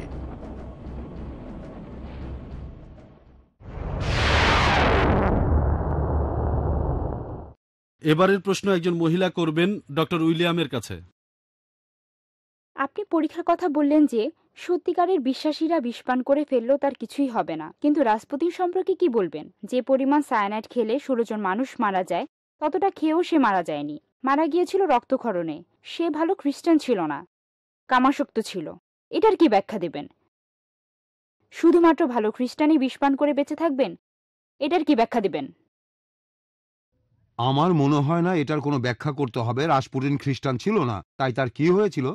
সেটার সাথে বাইবেলের কথাগুলোর কোনো সম্পর্ক নেই। আমি আগেও বলেছি, প্রভু যিশু, ঈশ্বর আপনাদের বলেননি যে সবাই লাইনে দাঁড়াও আর সবাই মিলে বিষ পান করা শুরু করো, আর ঈশ্বরকে পরীক্ষা করো। সরি।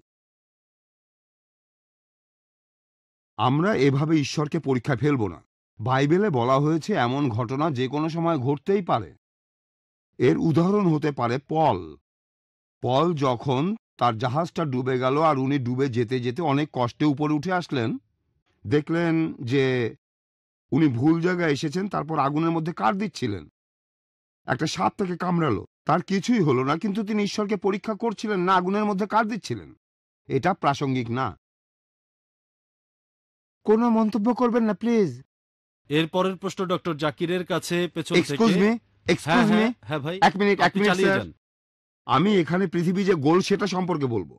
বুক অফ আইজায়া চল্লিশ অধ্যায়ের বাইশ অনুচ্ছেদে বলা হয়েছে ঈশ্বর তার গোলাকার পৃথিবীর উপর বসে আছেন।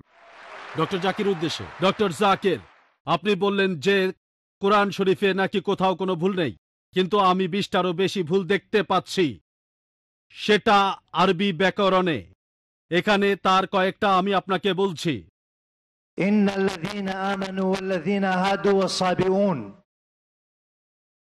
এটা আছে সুরা বাকারায় আর সুরা হাজে। এখানে কোনটা ঠিক? সাবে ইন নাকি সাবে উন এটা এক নাম্বার। আর দুই নাম্বার হলো কোরআনে আছে। ভাই একবারে একটা প্রশ্ন করেন। হ্যাঁ কিন্তু এছাড়াও আরও আছে। সুরা তাহার তেষট্টি নম্বর আয়াতে আছে।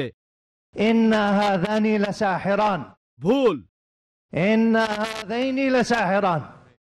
এটার কি ব্যাখ্যা দেবেন? এছাড়াও আমি আরও অনেক ভুলের কথা জানি। মি ভাই এক্সকিউজ মি আমরা শুধু একটা প্রশ্ন নিতে পারব। দ্বিতীয় প্রশ্নটা গ্রহণ করতে পারছি না কারণ এখানে অনেক আচ্ছা। প্রশ্নের উত্তর দিতে হবে। ঠিক আছে। ভাই আপনি খুব সুন্দর একটা প্রশ্ন করেছেন। আমি আরেকটু সহযোগিতা করতে চাই যে হ্যাঁ আপনি সবগুলো ব্যাকরণগত ভুলের কথাই বলতে পারেন। আর আপনার হাতের বইটা লিখেছেন আব্দুল ফাদি। আব্দুল ফাদি ঠিক?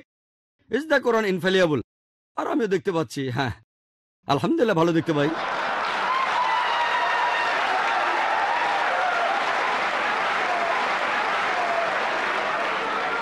আমি এই বিশটা ভুলের সবগুলোর উত্তর দেব, কারণ আমি বইটা পড়েছি। আমি সবগুলোর উত্তর দেবো ইনশাল্লাহ ইনশাল্লাহ এক নম্বর পয়েন্ট ভাই, এক নম্বর পয়েন্ট। এখানে এক নম্বর পয়েন্টটা যে আরবির সব ব্যাকরণ এসেছে কোরআন থেকেই। কোরআন হলো সর্বোচ্চ আরবি বই যে বইটাতে সবচেয়ে উঁচু মানের সাহিত্য আছে। আরবি ভাষার সব ব্যাকরণ এসেছে কোরআন থেকেই। কোরআন হলো ব্যাকরণের মূল গ্রন্থ, আর কোরআন যেহেতু ব্যাকরণের মূল গ্রন্থ এবং সব ব্যাকরণ এসেছে কোরআন থেকেই, কোরআনে কোনো ভুল থাকতে পারে না। এক নম্বর পয়েন্ট। দুই নম্বর পয়েন্ট। দুই নম্বর পয়েন্ট। দুই নম্বর পয়েন্ট। ব্যাপারটা এরকম যে একটা রুলার নিলেন, সেই রুলারের গায়ে দাগ কাটা আছে, তারপর বললেন যে মাপটা ভুল হয়েছে। এটা বেশ অযৌক্তিক দুই নম্বর পয়েন্ট আরবে আলাদা আলাদা বিভিন্ন গোত্র আছে। আপনি তো আরবি জানেন, ডক্টর উইলিয়াম ক্যাম্বেলও আমার সঙ্গে একমত হবেন যে আরবের গোত্রগুলোর মধ্যে ব্যাকরণ মাঝে মধ্যে বদলে যায়। কিছু কিছু আরবীয় গোত্রে যে শব্দটা স্ত্রীবাচক, অন্য আরেকটা গোত্রে সেই শব্দটা হয়তো পুরুষবাচক। একই শব্দ, তবে গোত্র ভেদে বদল হতে থাকে। এমনকি শব্দের লিঙ্গ বদলে যায়। তবে কি আপনি কোরআনকে সবগুলো ব্যাকরণ দিয়ে পরীক্ষা করবেন? না। আর এছাড়াও কোরআনের ভাষা এত উঁচু মানের যে এর কাছাকাছি কোনো সাহিত্য নেই। আর কোরআনের বিরুদ্ধে অনেক বই লেখা হয়েছে। ইন্টারনেটে গেলে দেখবেন, বারোটা ব্যাকরণের ভুল, একুশটা ব্যাকরণের ভুল, আব্দুল ফাদি বিশটা ব্যাকরণের ভুল। আপনার কি মনে হয় খ্রিস্টানরা এই ভুলগুলো বের করেছে? কারাই ভুল বের করেছে? জানেন কারা? মুসলিমরাই। মুসলিম পণ্ডিতরা, যেমন জামাকশারি তারাই করেছেন। কোরআনের ব্যাকরণ এত উঁচু মানের যে কোরআনের ভাষা মাঝে মধ্যে প্রচলিত আরবির বিরুদ্ধে যায়। কোরআনের ব্যাকরণ এত উঁচু মানের, কোরআনের ব্যাকরণ এত উঁচু মানের, তারা উদাহরণ দিয়েছেন, আমিও কয়েকটা উদাহরণ দেব, এতে আপনারা সবগুলো উত্তর পেয়ে যাবেন। তারা উদাহরণ দিয়েছে, পবিত্র কোরআনেই লেখা আছে যে, লুত আলাহিসাল্লামের গোত্রের লোকজন সকল রাসুলকে অস্বীকার করেছিল। বলা আছে সব নবীকে অস্বীকার করেছিল। ডক্টর ক্যাম্বেল বললেন যে, নুহ নবীর গোত্রের লোকজন তারা নবীদের অস্বীকার করেছে। ইতিহাস থেকে আমরা জানি তাদের কাছে মাত্র একজন নবীকে পাঠানো হয়েছিল। তাহলে এখানেও ব্যাকরণে ভুল আছে। কোরআনে বলা উচিত ছিল, একজন নবীর কথা বহুবচন না, আমিও একমত। আমিও একমত। আর আমার আপনার মতো লোকের কাছে মনে হবে, এটা ব্যাকরণের ভুল। কিন্তু যদি আপনারা আরবদের লেখা বইগুলো পড়ে থাকেন, কোরআনের আসল সৌন্দর্য কি? সৌন্দর্যটা হলো, কোরআনে কেন একজন নবীর কথা না বলে নবীদের কথা বলা হয়েছে? কেন জানেন? কারণটা আমরা জানি, সকল নবীগণের হেদায়েতের বাণী মূলত একটাই। যে ঈশ্বর একজনই, তাওহিদের বাণী, আল্লাহ ওয়া তাআলার বাণী। লুত আলাইসাল্লামের লোকজন আর নু আলাইসাল্লামের লোকজন তাদের নবীকে অস্বীকার করেছিল আর পরোক্ষভাবে নিজেদের নবীকে অস্বীকার করে তারা সকল নবীদেরই অস্বীকার করেছিল।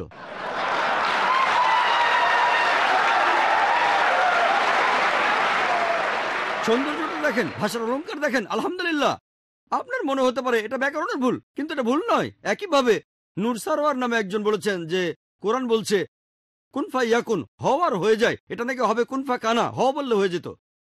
হ্যাঁ আরবিতে ফার্স্ট টেন্সে কুনফা কানা হবে কুনফা ইয়াকুন নয়। কুনফা ইয়াকুনের আরও ব্যাপক অর্থ। বলা হচ্ছে আল্লাহ করেছিলেন করছেন আর করবেন অতীত বর্তমান ভবিষ্যৎ। থ্যাংক ইউ ডক্টর নায়ক এরপরের প্রশ্ন করবেন সামনের মাইক থেকে এখান থেকে ডক্টর উইলিয়াম ক্যাম্পেলের উদ্দেশ্যে। ডক্টর উইলিয়াম ক্যাম্বেল তার লেকচারে জুলখান নাইনের কথা বললেন। কোরআনের সুরা কাহফের ছিয়াশি নম্বর আয়াতে আছে। আর বললেন যে জুলখান নাইন হলো আলেকজান্ডার দ্য গ্রেট। আপনি কি কোনোভাবে প্রমাণ করতে পারবেন জুলখান নাইনই হলো আলেকজান্ডার দ্য গ্রেট? আমি কথাটা ইউসুফ আলীর লেখা কোরআনের তফসিরে পড়েছিলাম। এখন এটা ইম্পর্টেন্ট না যে সেই লোক আলেকজান্ডার নাকি অন্য কেউ। এখানে ইম্পর্টেন্ট হলো সূর্য কোনো পঙ্কিল জলাশয়ে অস্তগমন করে না। কোরআনে ঠিক এই কথাটাই বলা আছে। হ্যাঁ বোন ধন্যবাদ। এবার প্রশ্ন ডক্টর জাকিরের কাছে। আমি অনুচ্ছেদটা ঠিকমতো জানি না তবে বাইবেলে এই কথা আছে। ইউনুস যেমন তিন দিন তিন রাত মাছের পেটে ছিলেন একইভাবে ঈশ্বরের পুত্র তিন দিন তিন রাত পৃথিবীর ভেতরে থাকবেন। যীশুখ্রিস্ট কি বৈজ্ঞানিকভাবে ইউনুসের এই নিদর্শনটা দেখিয়েছিলেন? আপনি যে অনুচ্ছেদের কথা বলেছেন, সেটা গসপেল অফ ম্যাথিউ বারো নম্বর অধ্যায়ের আটত্রিশ থেকে চল্লিশ নম্বর অনুচ্ছেদ। যখন ইহুদিরা যিশুর কাছে গিয়ে বলল, আমাদের নিদর্শন দেখান, অলৌকিক কিছু করে দেখান, তখন যীশু খ্রিস্ট বললেন যে, তোমরা অসৎ আর ব্যভিচারী জাতি, শুধু নিদর্শন খুঁজে বেড়াও। তোমাদের কোনো নিদর্শন দেখানো হবে না, শুধু ইউনুসের নিদর্শন বাদে। যেভাবে নবী ইউনুস তিন দিন এবং তিন রাত তিমি মাছের পেটের মধ্যে ছিলেন, সেই একইভাবে ঈশ্বরের পুত্র তিন দিন এবং তিন রাত পৃথিবীর বুকের মধ্যে থাকবেন। ইউনুসের নিদর্শন। নবী ইউনুসের উদাহরণ দিয়ে যিশু এক কথায় সব বুঝিয়ে দিয়েছেন। আর যদি ইউনুসের নিদর্শনটা পড়েন, বুক অব জোনা মাত্র দুই পৃষ্ঠার অধ্যায়, এটা বেশিরভাগ লোকই জানেন। যদি ভালো করে দেখেন, ইউনুস তিন দিন তিন রাত ছিলেন। কিন্তু যীশুখ্রিস্ট কতদিন ছিলেন, এটা গসপেল থেকে জানতে পারি। তাকে ক্রুশবিদ্ধ করা হয়েছিল, ধারণা করা হয়। ধারণা, সন্ধ্যা হওয়ার পর তাকে ক্রুশ থেকে নামিয়ে একটা সমাধারে রাখা হয়। তারপর রবিবার যখন পাথরটা সরানো হলো সমাধারটা তখন একেবারে খালি তাহলে যীশুখ্রিস্ট সেই সমাধিতে ছিলেন শুক্রবার রাতে। তিনি সমাধিতে ছিলেন শুক্রবার রাত। শনিবার সকালে তিনি সমাধিতে ছিলেন একদিন একদিন এক রাত। তারপর শনিবার রাতেও সেখানে ছিলেন। অর্থাৎ দুই রাত একদিন। দুই রাত আর রবিবার সকালে সমাধি খালি। তাহলে যীশুখ্রিস্ট সেই সমাধিতে ছিলেন দুই রাত আর একদিন। তিন রাত, তিন দিন নয়। ডক্টর ক্যাম্বেল তার বইয়ে উত্তর দিয়েছেন যে দিনের একটা ছোট অংশ সেটাকেও অনেকে একদিন বলে। যদি আমার কাছে কোনো রোগী আসে যে অসুস্থ ছিল শনিবার রাতে আর সোমবার সকালে তাকে জিজ্ঞেস করলাম, আপনি কতদিন অসুস্থ ছিলেন? সে বলবে, তিন দিন। ঠিক আছে, মানলাম। একমত হয়ে মানলাম, আমি খুবই উদার। বললেন, দিনের একটা অংশ মানে পুরো দিন? মানলাম। তাহলে শনিবার দিনের একটা অংশ পুরো দিন, রবিবার দিনের একটা অংশ পুরো দিন। মানলাম, ভালো। সোমবার দিনের একটা অংশ পুরো একদিন, কোনো সমস্যা নেই। যদি রোগী বলে তিন দিন, আপত্তি করব না। কিন্তু কোন রোগী কখনোই বলবে না তিন দিন আর তিন রাত। আমি চ্যালেঞ্জ করলাম। আমি আলহামদুলিল্লাহ, আমি অনেক রোগী দেখেছি। এখন পর্যন্ত কোনো রোগী দেখিনি। খ্রিস্টান মিশনারিও দেখিনি। যে আমাকে এভাবে বলবে, ধরলাম সে গতকালের আগের থেকে অসুস্থ, আর সে বলছে তিন দিন এবং তিন রাত। যীশুখ্রিস্ট শুধু তিন দিনের কথা বলেননি, যীশুখ্রিস্ট এখানে বলেছিলেন তিন দিন এবং তিন রাত। তাহলে এটা একটা গাণিতিক ভুল। বৈজ্ঞানিকভাবে যীশুখ্রিস্ট এই কাজটা করে দেখাননি, আর এছাড়াও যিশু বলেছিলেন, ইউনুস যেভাবে ছিলেন, ঈশ্বরের পুত্র সেভাবেই থাকবেন। ইউনুস কীভাবে ছিলেন? ইউনুস তিমি মাছের পেটে ছিলেন। কীভাবে? সেই মাছের পেটে। জীবিত না মৃত? জীবিত। যখন তাকে তীরে ফেলে দেওয়া হয়, তখন জীবিত। সে তিমি মাছের পেটে যখন সমুদ্রের মধ্যে ঘুরছিলেন, জীবিত না মৃত? জীবিত। সৃষ্টিকর্তার কাছে প্রার্থনা করলেন, জীবিত না মৃত? জীবিত। মাছটা তাকে সমুদ্রের তীরে ফেলে দিল। জীবিত না মৃত? জীবিত জীবিত জীবিত জীবিত। যখন কোনো খ্রিস্টানকে জিজ্ঞেস করি সেই সমাধিকক্ষের ভেতরে যীশুখ্রিস্ট কীভাবে ছিলেন? সেই সবাধারে জীবিত না মৃত? তারা বলবেন, মৃত। জীবিত? আলহামদুলিল্লাহ। আপনি কি খ্রিস্টান? যদি তিনি জীবিত থাকেন আলহামদুলিল্লাহ তাকে ক্রুসিফাই করা হয়নি। যদি তিনি মৃত হন তাহলে নিদর্শন দেখাননি। আমার ভিডিও ক্যাসেট দেখতে পারেন। Was Jesus Christ peace be upon him really crucified আমি প্রমাণ করেছি যীশু খ্রিস্টকে ক্রুসিফাই করা হয়নি। পবিত্র করণের সূরা নিসার 157 নম্বর আয়াত উল্লেখ করা হয়েছে তারা তাকে হত্যা করেনি ক্রুশবিদ্ধ করেও মারেনি। কিন্তু তাদের এমন মতিভ্রম হয়েছিল। ধন্যবাদ ডক্টর নায়ক। একটি পরিকল্পিত আলোচনা। জন্ম নিয়ন্ত্রণ চিন্তাধারা। কতটা ইসলামের সাথে সঙ্গতিশীল মানবতার কল্যাণের জন্য। তারা নিজ দেশে বলছে সন্তান বাড়াও। অপরদিকে মুসলিম দেশগুলিতে জনসংখ্যা কমানো যায় এর পুরস্কার ঘোষণা করছে। উন্নতি সাধনের জন্য। কোরআন জ্ঞান মানুষের যখন থাকে না তখনই মানুষ এই পদক্ষেপ নেয়। এটার অনেকগুলো দিক রয়েছে। ডক্টর আব্দুল্লাহ জাহাঙ্গীর আব্দুর রাজাক বিন ইউসুফ শেখ শাহিদুল্লাহ খান মাদানী মুফতি কাজী মোহাম্মদ ইব্রাহিম জাহাঙ্গীর আলম সর্বশ্রেষ্ঠ চূড়ান্ত ধর্ম ইসলাম। রিজিক দাতা মাতাও নন পিতাও নন। মুসলমানের একটা আস্থা বিশ্বাস। গোটা বিশ্বের তিনি রব আল্লাহ তাআলা মানব জাতিকে সৃষ্টি করেছেন। এর মূল ইউনিট হলো পরিবার। পরিবার বোঝেন জীবনের বার্তা। জ্ঞানগর্ভ আলোচনার মঞ্চ। প্রতি রবিবার রাত সাড়ে নটায় বা পুনঃ সম্প্রচার সকাল আটটায় বাংলাদেশে। পিস টিভি বাংলায়।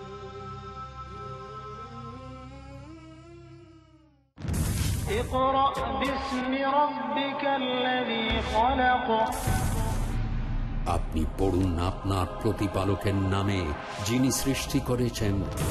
ইকরা মানে পড়ো সারা দুনিয়ার মানুষকে কোরআন মাজিদ আল্লাহ পড়তে বললেন। বিশ্ব সৃষ্টিতে সবচেয়ে মেরাকল আল কোরআনকে নাজিল করা। এটি প্রজ্ঞাপন্য কেতাব। কোরআন আরবি ভাষায় নাজিল হয়েছে যাতে সমাজের লোকদেরকে বুঝাতে সক্ষম হয়। এটি মহা কল্যাণময় ও নিরাময় বহু দিক থেকে হেদায়েত দিয়ে থাকে। আছে কেউ তোমাদের মধ্যে যে চিন্তা করে ও গবেষণা করে। দেখুন আমাদের অনুষ্ঠান। এসো কোরআনের ছায়ায়। প্রতি বুধবার রাত সাড়ে এগারোটায় বা পুনঃ সম্প্রচার সকাল সাড়ে দশটায় বাংলাদেশে। পিস টিভি বাংলায়।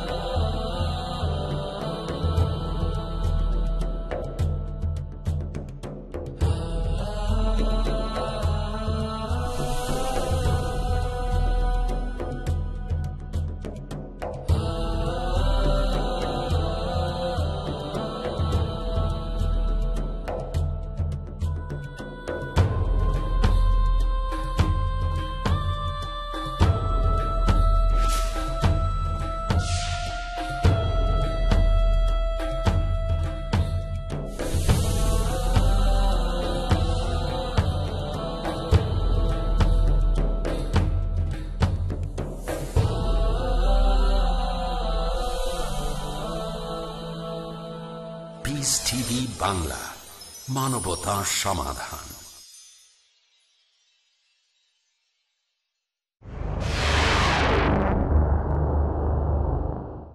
এবারের এবারের প্রশ্ন ডক্টর উইলিয়ামের কাছে।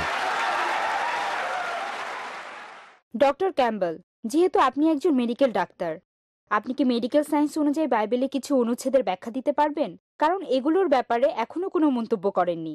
যেমন জীবাণু মুক্ত করতে রক্ত ছড়ানো ব্যবিচারের জন্য তেতো পানির পরীক্ষা সবচেয়ে ইম্পর্টেন্ট যেটা, একজন মহিলা দ্বিগুণ সময় নোংরা থাকবে, যদি সে পুত্র সন্তানের জন্ম না দিয়ে কন্যা সন্তানের জন্ম দেয়।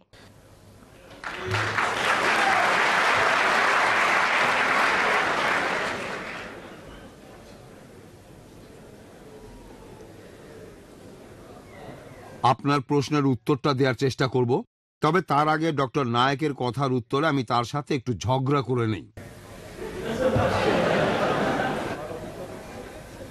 বাইবেলে বলা আছে, পরের দিন যীশুখ্রিস্টকে ক্রুশবিদ্ধ করার পরের দিন প্রধান পুরোহিত দেখা করল পাইলেটের সাথে। আর বলল যে, আমাদের মনে আছে, সে যখন বেঁচে ছিল, তখন সে বলেছিল, তিন দিন পর আমি আবার ফিরে আসব। সেজন্য তারা তৃতীয় দিন পর্যন্ত এখানে পাহারা বসান। এখানে তারা দিন আর রাত বলতে একই কথা বুঝিয়েছে। আমি এখানে যতটুকু বুঝতে পারি, বাইবেলে যেটা বলা আছে সেটা তৃতীয় দিনের কথা। তৃতীয় দিনের পর দেখা গেল যিশু সেই সমাধিতে আর নেই। আর তারপর যেটা হলো যীশুখ্রিস্টের পুনরুত্থান। এখানে আরও একটা কথা। যিশুকে যখন গ্রেপ্তার করা হলো বৃহস্পতিবার রাতে, প্লিজ চুপ করে থাকেন, উত্তর দেওয়ার সময় দয়া করে কোনো কথা বলবেন না। বৃহস্পতিবার মানে যেদিন যীশুখ্রিস্ট গ্রেপ্তার হলেন, তিনি বললেন, আমার সময় খুব কাছে চলে এসেছে। এই সময় থেকে গুনলে তিন দিন আর তিন রাতই হয়। এখন আমি পবিত্র বাইবেলের এই কথাগুলো সম্পর্কে বলি। আমার বিশ্বাস বাইবেল লিখেছেন ঈশ্বর নিজেই। বিশ্বাস করি এটা মহান ঈশ্বরের বাণী। তাই আমি এখানে ঈশ্বরের বাইবেল নিয়ে কোনো ব্যাখ্যা যাব না। কারণ ঈশ্বর নিজেই পবিত্র বাইবেলের শব্দগুলো বসিয়েছেন। আচ্ছা জাকির নায়কের কাছে। আসসালামু আলাইকুম। আমার নাম আসলাম রব। আমি একজন ছাত্র এবং জীববিজ্ঞান নিয়ে পড়াশোনা করছি। আমাদের টিচার এখন ক্লাসে বিবর্তন সম্পর্কে পড়াচ্ছেন। আর আমি ভাবছিলাম, ইসলাম ধর্মে বিবর্তন সম্পর্কে কি বলা হয়েছে? আপনি যদি এ ব্যাপারে সংক্ষেপে কিছু বলতেন যে, ইসলাম ধর্ম, বিবর্তন ও সৃষ্টি সম্পর্কে কি বলেছে। ভাই একটা প্রশ্ন করেছে। তবে তার আগে আমি ডক্টর উইলিয়াম ক্যাম্বেলের কিছু কথার উত্তর দিতে চাই। পবিত্র কোরআনে কোথাও আলেকজান্ডার নাম উল্লেখ নেই, বলা আছে জুলকার নাইন আলেকজান্ডার না, যদি লেখক এই ভুল করে থাকেন, তাহলে সেই দায়ভারটা হচ্ছে লেখকের এখানে মানুষ ভুল করেছে, ঈশ্বর কোনো ভুল করেননি। আর ডক্টর ক্যাম্বেল বলেছেন যে বাইবেলের আয়জায় আছে পৃথিবী গোলাকার, কোনো সমস্যা নেই। এটা গোলাকার, বর্তলাকার নয়। এক জায়গায় বাইবেল বলছে সমতল, আরেক জায়গায় বলছে গোলাকার। যদি দুটো অনুচ্ছেদই মেনে নেন, তাহলে সেটা দেখতে ডিস্কের মতো।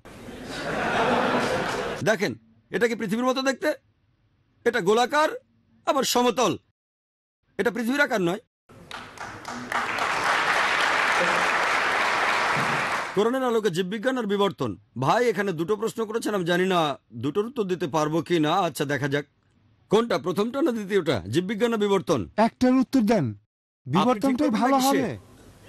প্রশ্নটা বিবর্তনের উপর তাই বিবর্তন নেই বলেন। প্রশ্ন দুটো প্রথমে জীববিজ্ঞান পরে বিবর্তন। দশ মিনিট সময় দিলাম দুটোর উত্তর দিতে পারব। আপনি পাঁচ মিনিট সময় পাবেন এর মধ্যে উত্তর দেন। আচ্ছা ঠিক আছে, আমি চেয়ারপারসন মিস্টার স্যামুয়েল নামানের কথাই মেনে নিচ্ছি। শুধু বিবর্তনের কথাই বলব। বিস্তারিত জানতে আমার ভিডিও ক্যাসেট দেখবেন কোরআন অ্যান্ড মডার্ন সায়েন্স আমরা যখনই বিবর্তনের কথা বলি, বেশিরভাগ লোকই ডারউইনের থিওরির কথা বলে। চার্লস ডারউইন সমুদ্র ভ্রমণে গিয়েছিলেন বিগল নামে একটি জাহাজে, আর তিনি গ্যালাপাগাস নামে একটি দ্বীপে গিয়েছিলেন। সেখানে অনেক পাখিকে খুঁটে খেতে দেখে লক্ষ্য করলেন যে পাখিগুলোর ঠোঁট লম্বা। তখনই তিনি প্রাকৃতিক নির্বাচনের কথা ভেবেছিলেন। আর থমাস থমটন নামে এক বন্ধুকে চিঠি লিখেছিলেন। এটা উনিশ শতকের কথা। তিনি লিখেছিলেন, এই প্রাকৃতিক নির্বাচনের পক্ষে কোনো প্রমাণ আমার হাতে নেই। কিন্তু এই থিওরিটা থাকলে আমি প্রজননবিদ্যা সহ আরও অনেক কিছুর ব্যাখ্যা করে দেখাতে পারব। ডারুনের থিওরি আসলে প্রমাণিত সত্য নয়। এটা শুধু একটা থিওরি। আমি আমার লেকচারের শুরুতে পরিষ্কার করে বলেছিলাম, কোরআন কোনো থিওরির বিপক্ষেও যেতে পারে। কারণ থিওরি পথ বদলাতে পারে, কিন্তু কোরআন কোনো প্রতিষ্ঠিত সত্যের বিরুদ্ধে যাবে না। আর স্কুলে আমাদের শেখানো হয়েছে, ডারুনের থিওরি একটা বৈজ্ঞানিক সত্যি, এটা ঠিক নয়। এই থিওরির পক্ষে কোনো প্রমাণ নেই, এখানে অনেক ফাঁক আছে। আর কেউ কেউ বন্ধু বা সহকর্মীদের সাথে ঠাট্টা করে একথা বলে যে, তুমি যদি ডারুনের সময় পৃথিবীতে থাকতে, তাহলে ডারুনের থিওরিটা প্রমাণ হয়ে যেত। আসলে তাকে বলা হচ্ছে দেখতে বাঁদরের মতো। ডারুনের থিওরিতে অনেক ফাঁক আছে। আর আমি মানুষের পূর্বপুরুষদের কথা জানি, হোমিনিড, তারপর লুসি, অস্ট্রালোপিথেকাস, তারপরে হোমোইরিকটাস, নিয়ান্ডারথাল ম্যান, ক্রোম্যাগনান, আরও জানতে আমার ভিডিও ক্যাসেট দেখতে পারেন। মলিকিউলার বায়োলজিতে ফ্রান্সিস ক্রেগের কথা অনুযায়ী এটা একেবারে অসম্ভব যে পৃথিবীতে মানুষ বাদর থেকে এসেছে। ডিএনএ কোডিং বলে অসম্ভব। আমার ভিডিও ক্যাসেট দেখতে পারেন, সেখানে বিস্তারিত আছে। কিছু ব্যাপারে আমার কোনো আপত্তি নেই। জীববিজ্ঞানের ব্যাপারে পবিত্র করণে সুরা আম্বিয়া ত্রিশ নম্বর আয়াতে উল্লেখ করা হয়েছে যে আমি প্রাণবান সবকিছু সৃষ্টি করলাম পানি হতে তবু কি তারা ইমান আনবে না? আজকে আমরা জানি যে পৃথিবীর সব প্রাণীর প্রাথমিক উপাদানে কোষের মধ্যে সাইটোপ্লাজম আছে এর নব্বই পার্সেন্টই হলো পানি। পৃথিবীর সব ধরনের প্রাণীর শরীরে আনুমানিক পঞ্চাশ থেকে নব্বই পার্সেন্টই হচ্ছে পানি। চিন্তা করেন আরবের সেই মরুভূমিতে কে ভাবতে পারতো যে সব প্রাণী পানি দিয়ে তৈরি? কোরআনে কথা বলেছে চোদ্দশো বছর আগে। ধন্যবাদ নায়ক। ধন্যবাদ। ধন্যবাদ। ধন্যবাদ ডক্টর নায়ক। এবার আমরা শুরু করছি ইন্ডেক্স কার্ডের প্রশ্ন উত্তর আর এখানে আমাদের সামনে বক্স আছে ডক্টর ক্যাম্বেলের জন্য আর ডক্টর জাকিরের জন্য। আমরা বক্সটা ঘুরিয়ে দিচ্ছি যেন তারা তাদের নাম দেখতে না পায়। বক্তারা প্রশ্ন তুলবেন বক্সের দিকে না তাকিয়ে তারপর তারা যে প্রশ্ন বেছে নেবেন সেটার উত্তর দেবেন। প্রথম প্রশ্ন ডক্টর উইলিয়াম ক্যাম্বেলের জন্য। তারপরের প্রশ্ন জাকির নায়কের জন্য। আমি প্রশ্নটা পড়েছি, তবে তার আগে বলে নেই যে পৃথিবীর সবকিছুই পানি দিয়ে তৈরি। এটা তো অবশ্যই হবে, আপনি একটা ছাড় পোকা চ্যাপটা করে ফেলেন। দেখবেন পানি, প্রত্যেকটা জীবজন্তুই পানি দিয়ে তৈরি, আমরা সবাই জানি, এটা অলৌকিক কিছু নয়। আচ্ছা ডক্টর ক্যাম্বেল, আপনি যদি জেনেসিসে বিশ্বজগৎ সৃষ্টির সমস্যাটি সমাধান করতে না পারেন, তাহলে আপনার কি মনে হয় না এতেই প্রমাণ হয় যে বাইবেলের কথাগুলো অবৈজ্ঞানিক আর ঈশ্বরের কাছ থেকে আসেনি? আমি মানছি সমস্যাটি সমাধান করতে পারব না। তবে আমি ভবিষ্যৎবাণীগুলো সত্যি হতে দেখেছি। সেটা আমার কাছে অনেক বেশি ইম্পর্টেন্ট আর যিশু, তিনি হলেন যিশুই হলেন ভিত্তিপ্রস্তর। আর তার কথা যীশুখ্রিস্টের কথা আগের অনেক নবী রাসুল বলে গিয়েছেন। আগের নবী রাসুলরা যীশুখ্রিস্টের কথা ভবিষ্যৎবাণী করেছিলেন আর ঈশ্বর সেই ভবিষ্যৎবাণীগুলো সত্যি করেছেন। আমি জানি আপনি আপনার উত্তরটা পাননি। তবে আমি যিশুকে বিশ্বাস করি আমার রক্ষাকর্তা হিসাবে। ওকে ধন্যবাদ ডক্টর নায়ক। মূল রচনা আর অনুবাদ দুটো আলাদা ভাষা অর্থও দুই রকম হতে পারে। বাইবেলের ইংরেজিটা কি মূল রচনা নাকি অনুবাদ? এটা কি বৈজ্ঞানিকভাবে প্রমাণ করা যায় যে মূল রচনা আর অনুবাদ এক? ঈসা আলাহিসাল্লাম আর মুসা আলাহিসাল্লামকে কি আল্লাহ তালা আসমানি কিতাব ইংরেজিতে পাঠিয়েছিলেন? এটা খুবই ভালো প্রশ্ন। মূল রচনা আর অনুবাদ একই জিনিস কি হতে পারে? না। মূল রচনা আর অনুবাদ হুবহু একরকম হবে না। কাছাকাছি আসতে পারে। আর অনুবাদ সম্পর্কে মাওলানা আব্দুল মাজিদ দারিয়াবাদী বলেছেন, পৃথিবীতে যে বইটা অনুবাদ করা সবচেয়ে কঠিন সেটা হলো কোরআন। কারণ কোরআন শরীফের ভাষা এত অলঙ্কারপূর্ণ, এর ভাষা এত উঁচু মানের, এতই মহান। আর আরবি একটা শব্দের অনেকগুলো অর্থ আছে। এজন্য কোরআনের অনুবাদ করা সবচেয়ে কঠিন কাজ, এ দুটো হুবহু এক নয়। আর যদি অনুবাদটায় কোনো ভুল হয়ে থাকে, এটা করেছে একজন মানুষ, যে লোকটাই অনুবাদটা করেছে, এখানে ভুলটা তার, ঈশ্বরের কোনো ভুল নয়। আর বাইবেল কি ইংরেজিতে লেখা হয়েছিল? না। পবিত্র বাইবেল ইংরেজিতে লেখা হয়নি। অরিজিনাল ওল্ড টেস্টামেন্ট আছে হিব্রুতে আর নিউ টেস্টামেন্ট গ্রিক ভাষায়। যদিও যীশুখ্রিস্ট কথা বলতেন হিব্রু ভাষায়, তবে নিউ টেস্টামেন্টের যে মূল বইটা আছে সেটা গ্রিক ভাষায়। অরিজিনাল হিব্রু ভাষায় এটা পাওয়া যায়নি। আপনারা কি জানেন? নিউ টেস্টামেন্টের হিব্রু অনুবাদটা করা হচ্ছে গ্রিক থেকে। আর ওল্ড টেস্টামেন্টের যে সংস্করণটা আপনারা হিব্রু ভাষায় দেখতে পান সেটা আসলে মূল রচনা নয়। তাহলে সমস্যাটা আরও বেড়ে গেল। আর এই জন্য বাইবেলে ভুল থাকতেই পারে। তবে কোরআনে আলহামদুলিল্লাহ মূল আরবিটাই এখনও আছে। মূল রচনাটা আলহামদুলিল্লাহ বৈজ্ঞানিকভাবে প্রমাণিত, এটাই মূল রচনা। এখন কথা হলো ইসা আলাহিসাল্লাম আর মুসা আলাহিসাল্লামের উপর কোন আসমানি কিতাব নাজিল হয়েছিল? আর আমি কথা আগেও আমার লেকচারে বলেছি, আমরা বিশ্বাস করি আর পবিত্র কোরআনে সুরে হ্রদের আটত্রিশ নম্বর আয়াতে উল্লেখ করা আছে যে আল্লাহ সমান তালা পৃথিবীতে অনেক আসমানি কিতাব পাঠিয়েছেন। এদের মধ্যে চারটা নাম বলা আছে, তাওরাত, জাবুর ইঞ্জিল আর কোরআন। তাওরাত হলো সেই ওহি যেটা নাজিল হয়েছিল মুসা আলাহিসাল্লামের উপর। জাবুর হলো সেই আসমানি কিতাব যেটা নাজিল হয়েছিল দাউদ আলাহিসাল্লামের উপর। ইঞ্জিল হলো সেই আসমানি কিতাব যেটা নাজিল হয়েছিল যীশুখ্রিস্টের উপর আর কোরআন হলো সর্বশেষ ও চূড়ান্ত আসমানি কিতাব। নাজিল হয়েছিল সর্বশেষ ও চূড়ান্ত নবী মোহাম্মদ আমরা বিশ্বাস করি বাইবেল আর যীশুখ্রিস্টের উপর নাজিল হওয়া ইঞ্জিল একই বই নয়। থ্যাংক ইউ স্যার এবার ডক্টর ক্যাম্বেল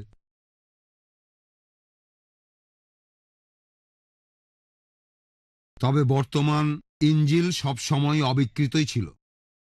আমাদের কাছে আমাদের কাছে পঁচাত্তর পঁচাত্তর পার্সেন্ট কথা আছে একশো আশি খ্রিস্টাব্দের, যেটা জন লিখেছিলেন একশো বছর পরে। তিনি বেঁচে থাকতে এটা লিখেছিলেন। সেই সময় যারা বেঁচে ছিল, তারা জনের তারা জনের কথাগুলো পুরোপুরি বিশ্বাস করেছিল। এই সব কিছুর ব্যাপারে যথেষ্ট প্রমাণ আছে। বাইবেলে সত্যি কথাই বলা হয়েছে। এবারে প্রশ্নটা বলি, আপনি যে প্রবাবিলিটির অঙ্কটা দেখালেন আপনার হিসাবটা অসাধারণ, ধন্যবাদ। কিন্তু আপনি জানেন যে ঈশ্বর তার কাছে এটা কিছুই না। ঈশ্বর হলেন সর্বশক্তিমান, তিনি ইচ্ছে মতো বেছে নিতে পারেন, অবশ্যই। সে ধনী বা গরিব হোক অথবা অন্য কিছু। তাহলে আপনার এই প্রবাবিলিটির দরকারটা কি? যিশু গরিব ছিলেন আর মনোনীত ছিলেন। তিনি বলেছেন যে ঈশ্বরের পুত্রের কারও সাহায্যের প্রয়োজন নেই। আমি ঠিক বুঝতে পারছি না। এই প্রশ্নের সাথে আমার হিসাবটা সম্পর্ক বুঝতে পারছি না। হিসাবটা ছিল কতজন মানুষ এই ভবিষ্যৎবাণীগুলো সত্যি করতে পারত। আমি ভেবেছিলাম আপনাদের বুঝতে সুবিধা হবে। ধন্যবাদ।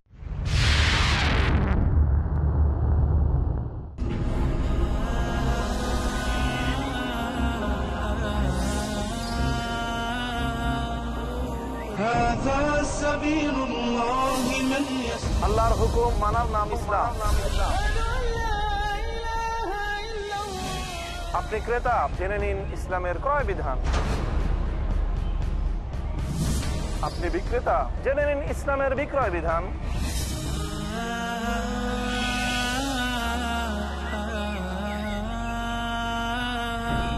আপনি ব্যবসায়ী, জেনে নিন ইসলামের ব্যবসার বিধান।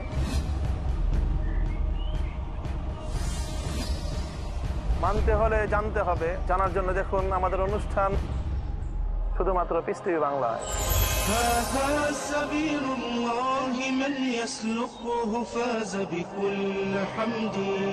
ব্যবসা সম্পর্কে কি কি রয়েছে ইসলামের অনন্য নীতিমালা জানুন আমাদের অনুষ্ঠান যোগে ইসলামী লেনদেন। প্রতি শুক্রবার রাত দশটায় বা পুনঃ সম্প্রচার সকাল সাড়ে আটটায় বাংলাদেশে। পিস টিভি বাংলায়।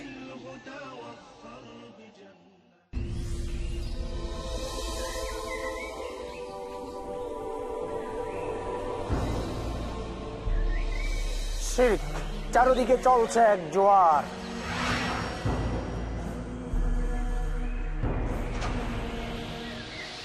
বিদাতের প্রচণ্ড ঝড়ে লন্ড ভন্ড রসুল্লাহ সাল্লাহ আলী সাল্লামের সুন্না পিচ্ছিল সরু পথে জান্নাতি কাফেলা। জান্নাতের সরল পথে আসন গেড়েছে শয়তান। সে পথকে মসৃণ করতে দেখুন আমার প্রোগ্রাম, কালিমার আবেদন, কেবলমাত্র পিস টিভি বাংলায়।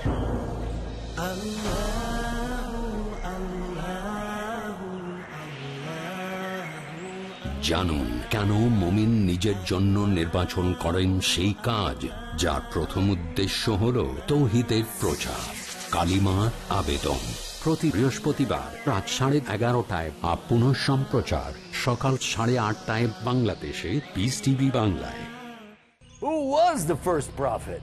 Was a prophet the first one to read and write? Did God speak to a prophet? A prophet in a prison. A prophet who commanded the birds, insects, and animals? Want to know more? Join us for Stories of the Prophet. নবীদের কাহিনী প্রতি রবিবার সন্ধ্যা সাতটায় পুনঃ সম্প্রচার সকাল এগারোটায় বাংলাদেশে পিস টিভি বাংলায়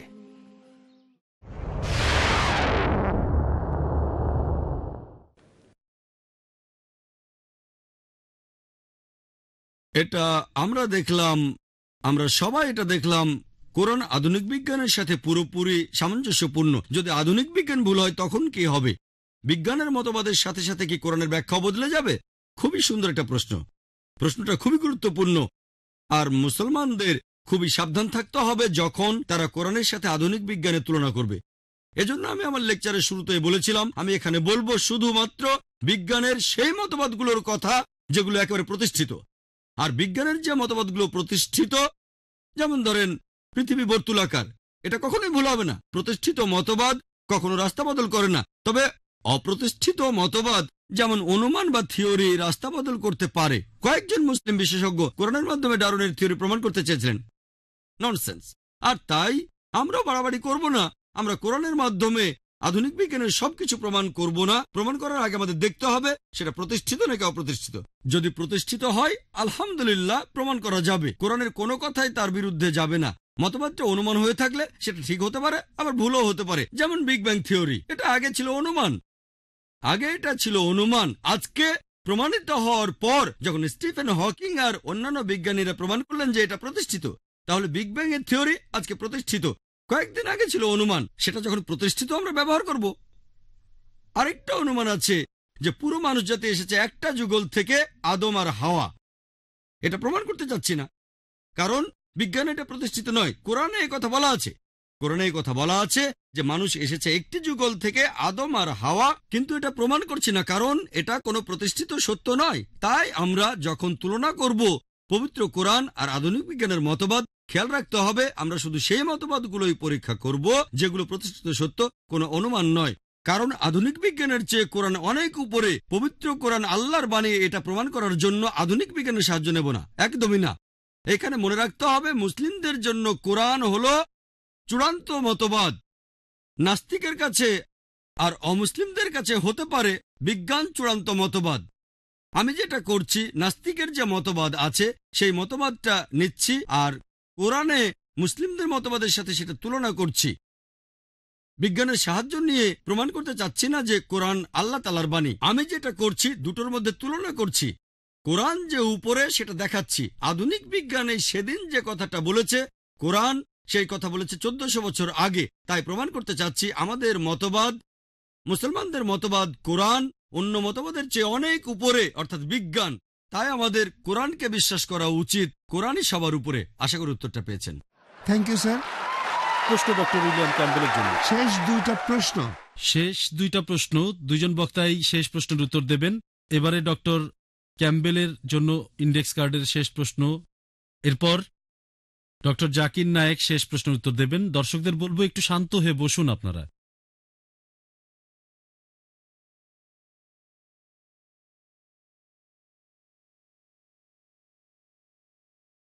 এটাও একই প্রশ্ন মানে আগের প্রশ্নটাই। ডক্টর ক্যাম্বেল এখানে ডক্টর নায়কের সাথে একমত যে বাইবেলে ভুল রয়েছে। এটার কোনো সমাধান নেই। তার অর্থ কি এই যে ডক্টর ক্যাম্বেল মেনে নিলেন বাইবেলে ভুল আছে? সুতরাং এটা ঈশ্বরের বাণী নয়। বাইবেলে এমন অনেক কথা আছে যেগুলোর ব্যাখ্যা আমি দিতে পারব না, এই মুহূর্তে আমার কাছে কোনো ব্যাখ্যা নেই। আর আমি অপেক্ষা করব যে ভবিষ্যতে হয়তো এগুলোর ব্যাখ্যা করতে পারব। এমন অনেক প্রত্নতাত্ত্বিক আবিষ্কার রয়েছে যেখানে বাইবেলের কথাই সত্যি হয়েছে বিভিন্ন শহরের ব্যাপারে। আর কে রাজা ছিল? এমন কিছু ব্যাপারে। এটাতেই প্রমাণ হয় যে বাইবেলের ইতিহাস সম্পর্কে সত্যি কথাই বলা আছে। ধন্যবাদ ডক্টর ক্যাম্বেল প্রশ্নটা হলো আর কোনো গাণিতিক ভুল কি খুঁজে পাওয়া যাবে? পবিত্র বাইবেলের বাইবেলের নাকি কোরআনের সরি। আর কিছু গাণিতিক ভুল কি খুঁজে পাওয়া যাবে ইসলাম ধর্মে? গাণিতিক ভুল? বাইবেল না ইসলামে বুঝতে পারছি না। দুটোর উত্তর দিচ্ছি। এখানে আছে আরও কোনো ভুল তাহলে বাইবেলই হবে কারণ বাইবেলের ভুলের কথাই বলছি। আর ইসলামের কথা বললে পবিত্র কোরণে সুরা নিসার বিরাশি নম্বর আয়াতে উল্লেখ করা হয়েছে তবে কি তারা কোরআন সম্পর্কে অনুধাবন করে না? যদি এটা আল্লাহ ব্যতীত কারণে থেকে আসতো তাহলে এতে অনেক অসঙ্গতি থাকতো। কোরআনে কোনো অসঙ্গতি নেই। বাইবেলের অন্য ভুল সম্পর্কে যদি বলি, পাঁচ মিনিট সময় অনেক কম হয়ে যায়। এমনকি পাঁচ দিন সময় পেলেও হয়তো পারব না। যা হোক কয়েকটার কথা বলছি। এটার উল্লেখ আছে সেকেন্ড কিংসে আট নম্বর অধ্যায় ২৬ নম্বর অনুচ্ছেদে। বলা হয়েছে যে আহাজিয়া আহাজিয়া বাইশ বছর বয়সে রাজ্য শাসন শুরু করে। সেকেন্ড ক্রনিকলস বাইশ নম্বর অধ্যায়, দুই নম্বর অনুচ্ছেদ বলছে যে আহাজিয়া বিয়াল্লিশ বছর বয়সে রাজ্য শাসন শুরু করে। তার বয়স বাইশ বছর ছিল? নাকি বিয়াল্লিশ বছর ছিল? পরস্পর বিরোধী কথা। আর এছাড়াও সেকেন্ড ক্রনিকলস একুশ নম্বর অধ্যায় বিশ নম্বর অনুচ্ছেদে আছে যে জেহরাম অর্থাৎ আহাজিয়ার বাবা রাজ্য শাসন শুরু করে বত্রিশ বছর বয়সে রাজত্ব করে আট বছর, আর চল্লিশ বছর বয়সে সে মারা যায়। তারপরে আহাজিয়া পরবর্তী শাসক হলো, তখন তার বয়স বিয়াল্লিশ বছর হলো। বাবা মারা গেলেন চল্লিশ বছর বয়সে, তারপরে তিনি রাজা হলেন, আর তখন তার বয়স বিয়াল্লিশ বছর। কীভাবে ছেলের বয়স? বাবার চেয়ে দুই বছর বেশি হয়। বিশ্বাস করেন, এমন কি? এমন কি হলিউড ফিল্মেও? এমন কিছু দেখতে পাবেন না।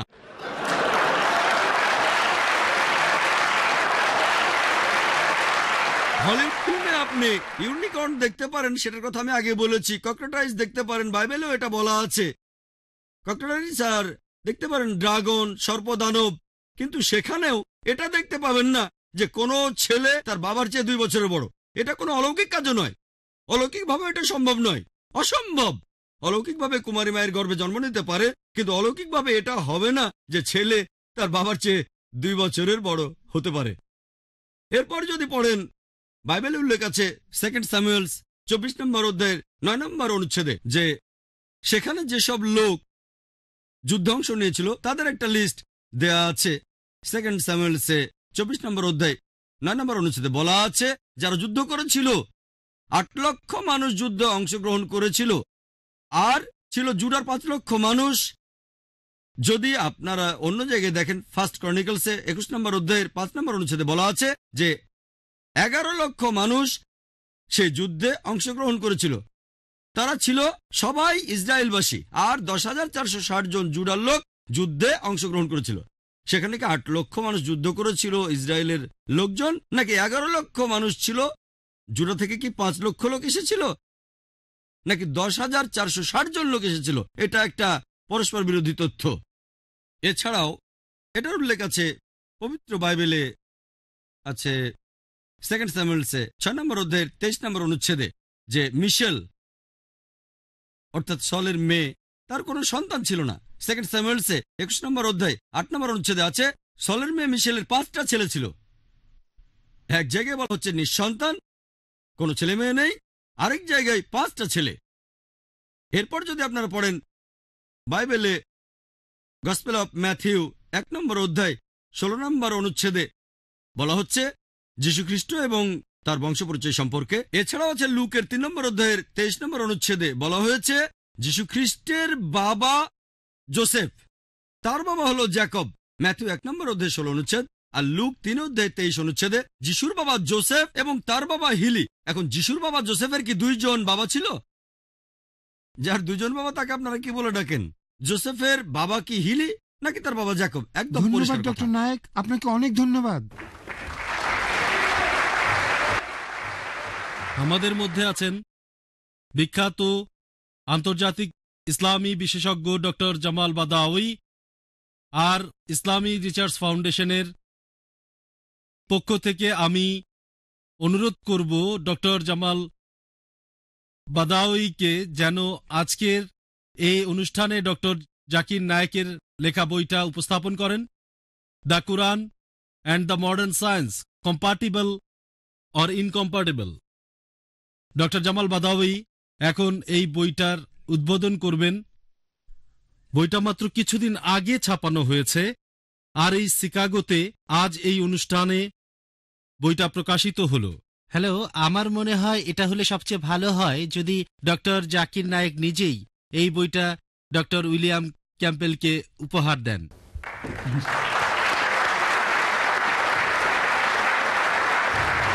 ধন্যবাদ ডক্টর চান্দ্র ধন্যবাদ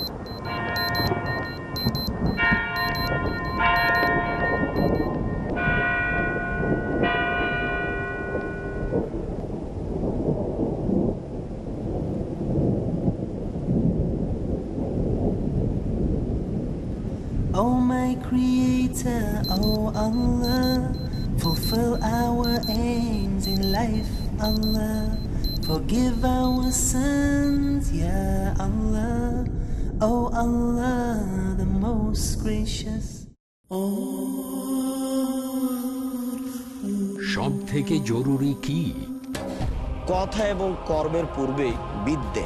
আজানের কি তাৎপর্য? আজান শেষে যে যা চাইবে তাকে তাই প্রদান করা হবে। জীবনে সফলতা কীভাবে আসবে? কেউ যদি কোরআন তেলাওয়াত করে কেউ যদি শ্যাম পালন করে কেউ যদি হজ করে। আল্লাহ তালা কিসে খুশি হন? মেসোয়াক হচ্ছে তাঁতের মুখের পবিত্রতার মাধ্যম। আর আল্লাহকে সন্তুষ্ট করার মাধ্যম। আরও ফজিলত জানার জন্য দেখুন ফাজায়েলে আমল। প্রতি বুধবার সন্ধ্যা সাড়ে পাঁচটায় বা পুনঃ সম্প্রচার। সকাল ছটায় বাংলাদেশে পিস টিভি বাংলায়। ইমান সত্যবাদিতা উত্তম চরিত্র সম্প্রীতি ও ভালোবাসা একজন আদর্শ মমিনের ভূষণ। এ সম্পর্কে আমাদের প্রিয় নবী মোহাম্মদ রসুল্লাহ সাল্লাহ আলি সাল্লামের শিক্ষাসমূহ কি? শেখ হারুন হোসেন। একজন আদর্শ মুসলিমের পরিচয়। জানতে হলে দেখুন আমাদের প্রোগ্রাম চল্লিশ হাদিস গ্রন্থের ধারাবাহিক দারসমূহ নবী সাল্লাল্লাহু আলাইহি ওয়াসাল্লামের চল্লিশ হাদিস। প্রতি সোমবার মঙ্গলবার রাত সাড়ে দশটায় বা পুনঃ সম্প্রচার সকাল নটায় বাংলাদেশে পিস টিভি বাংলায়।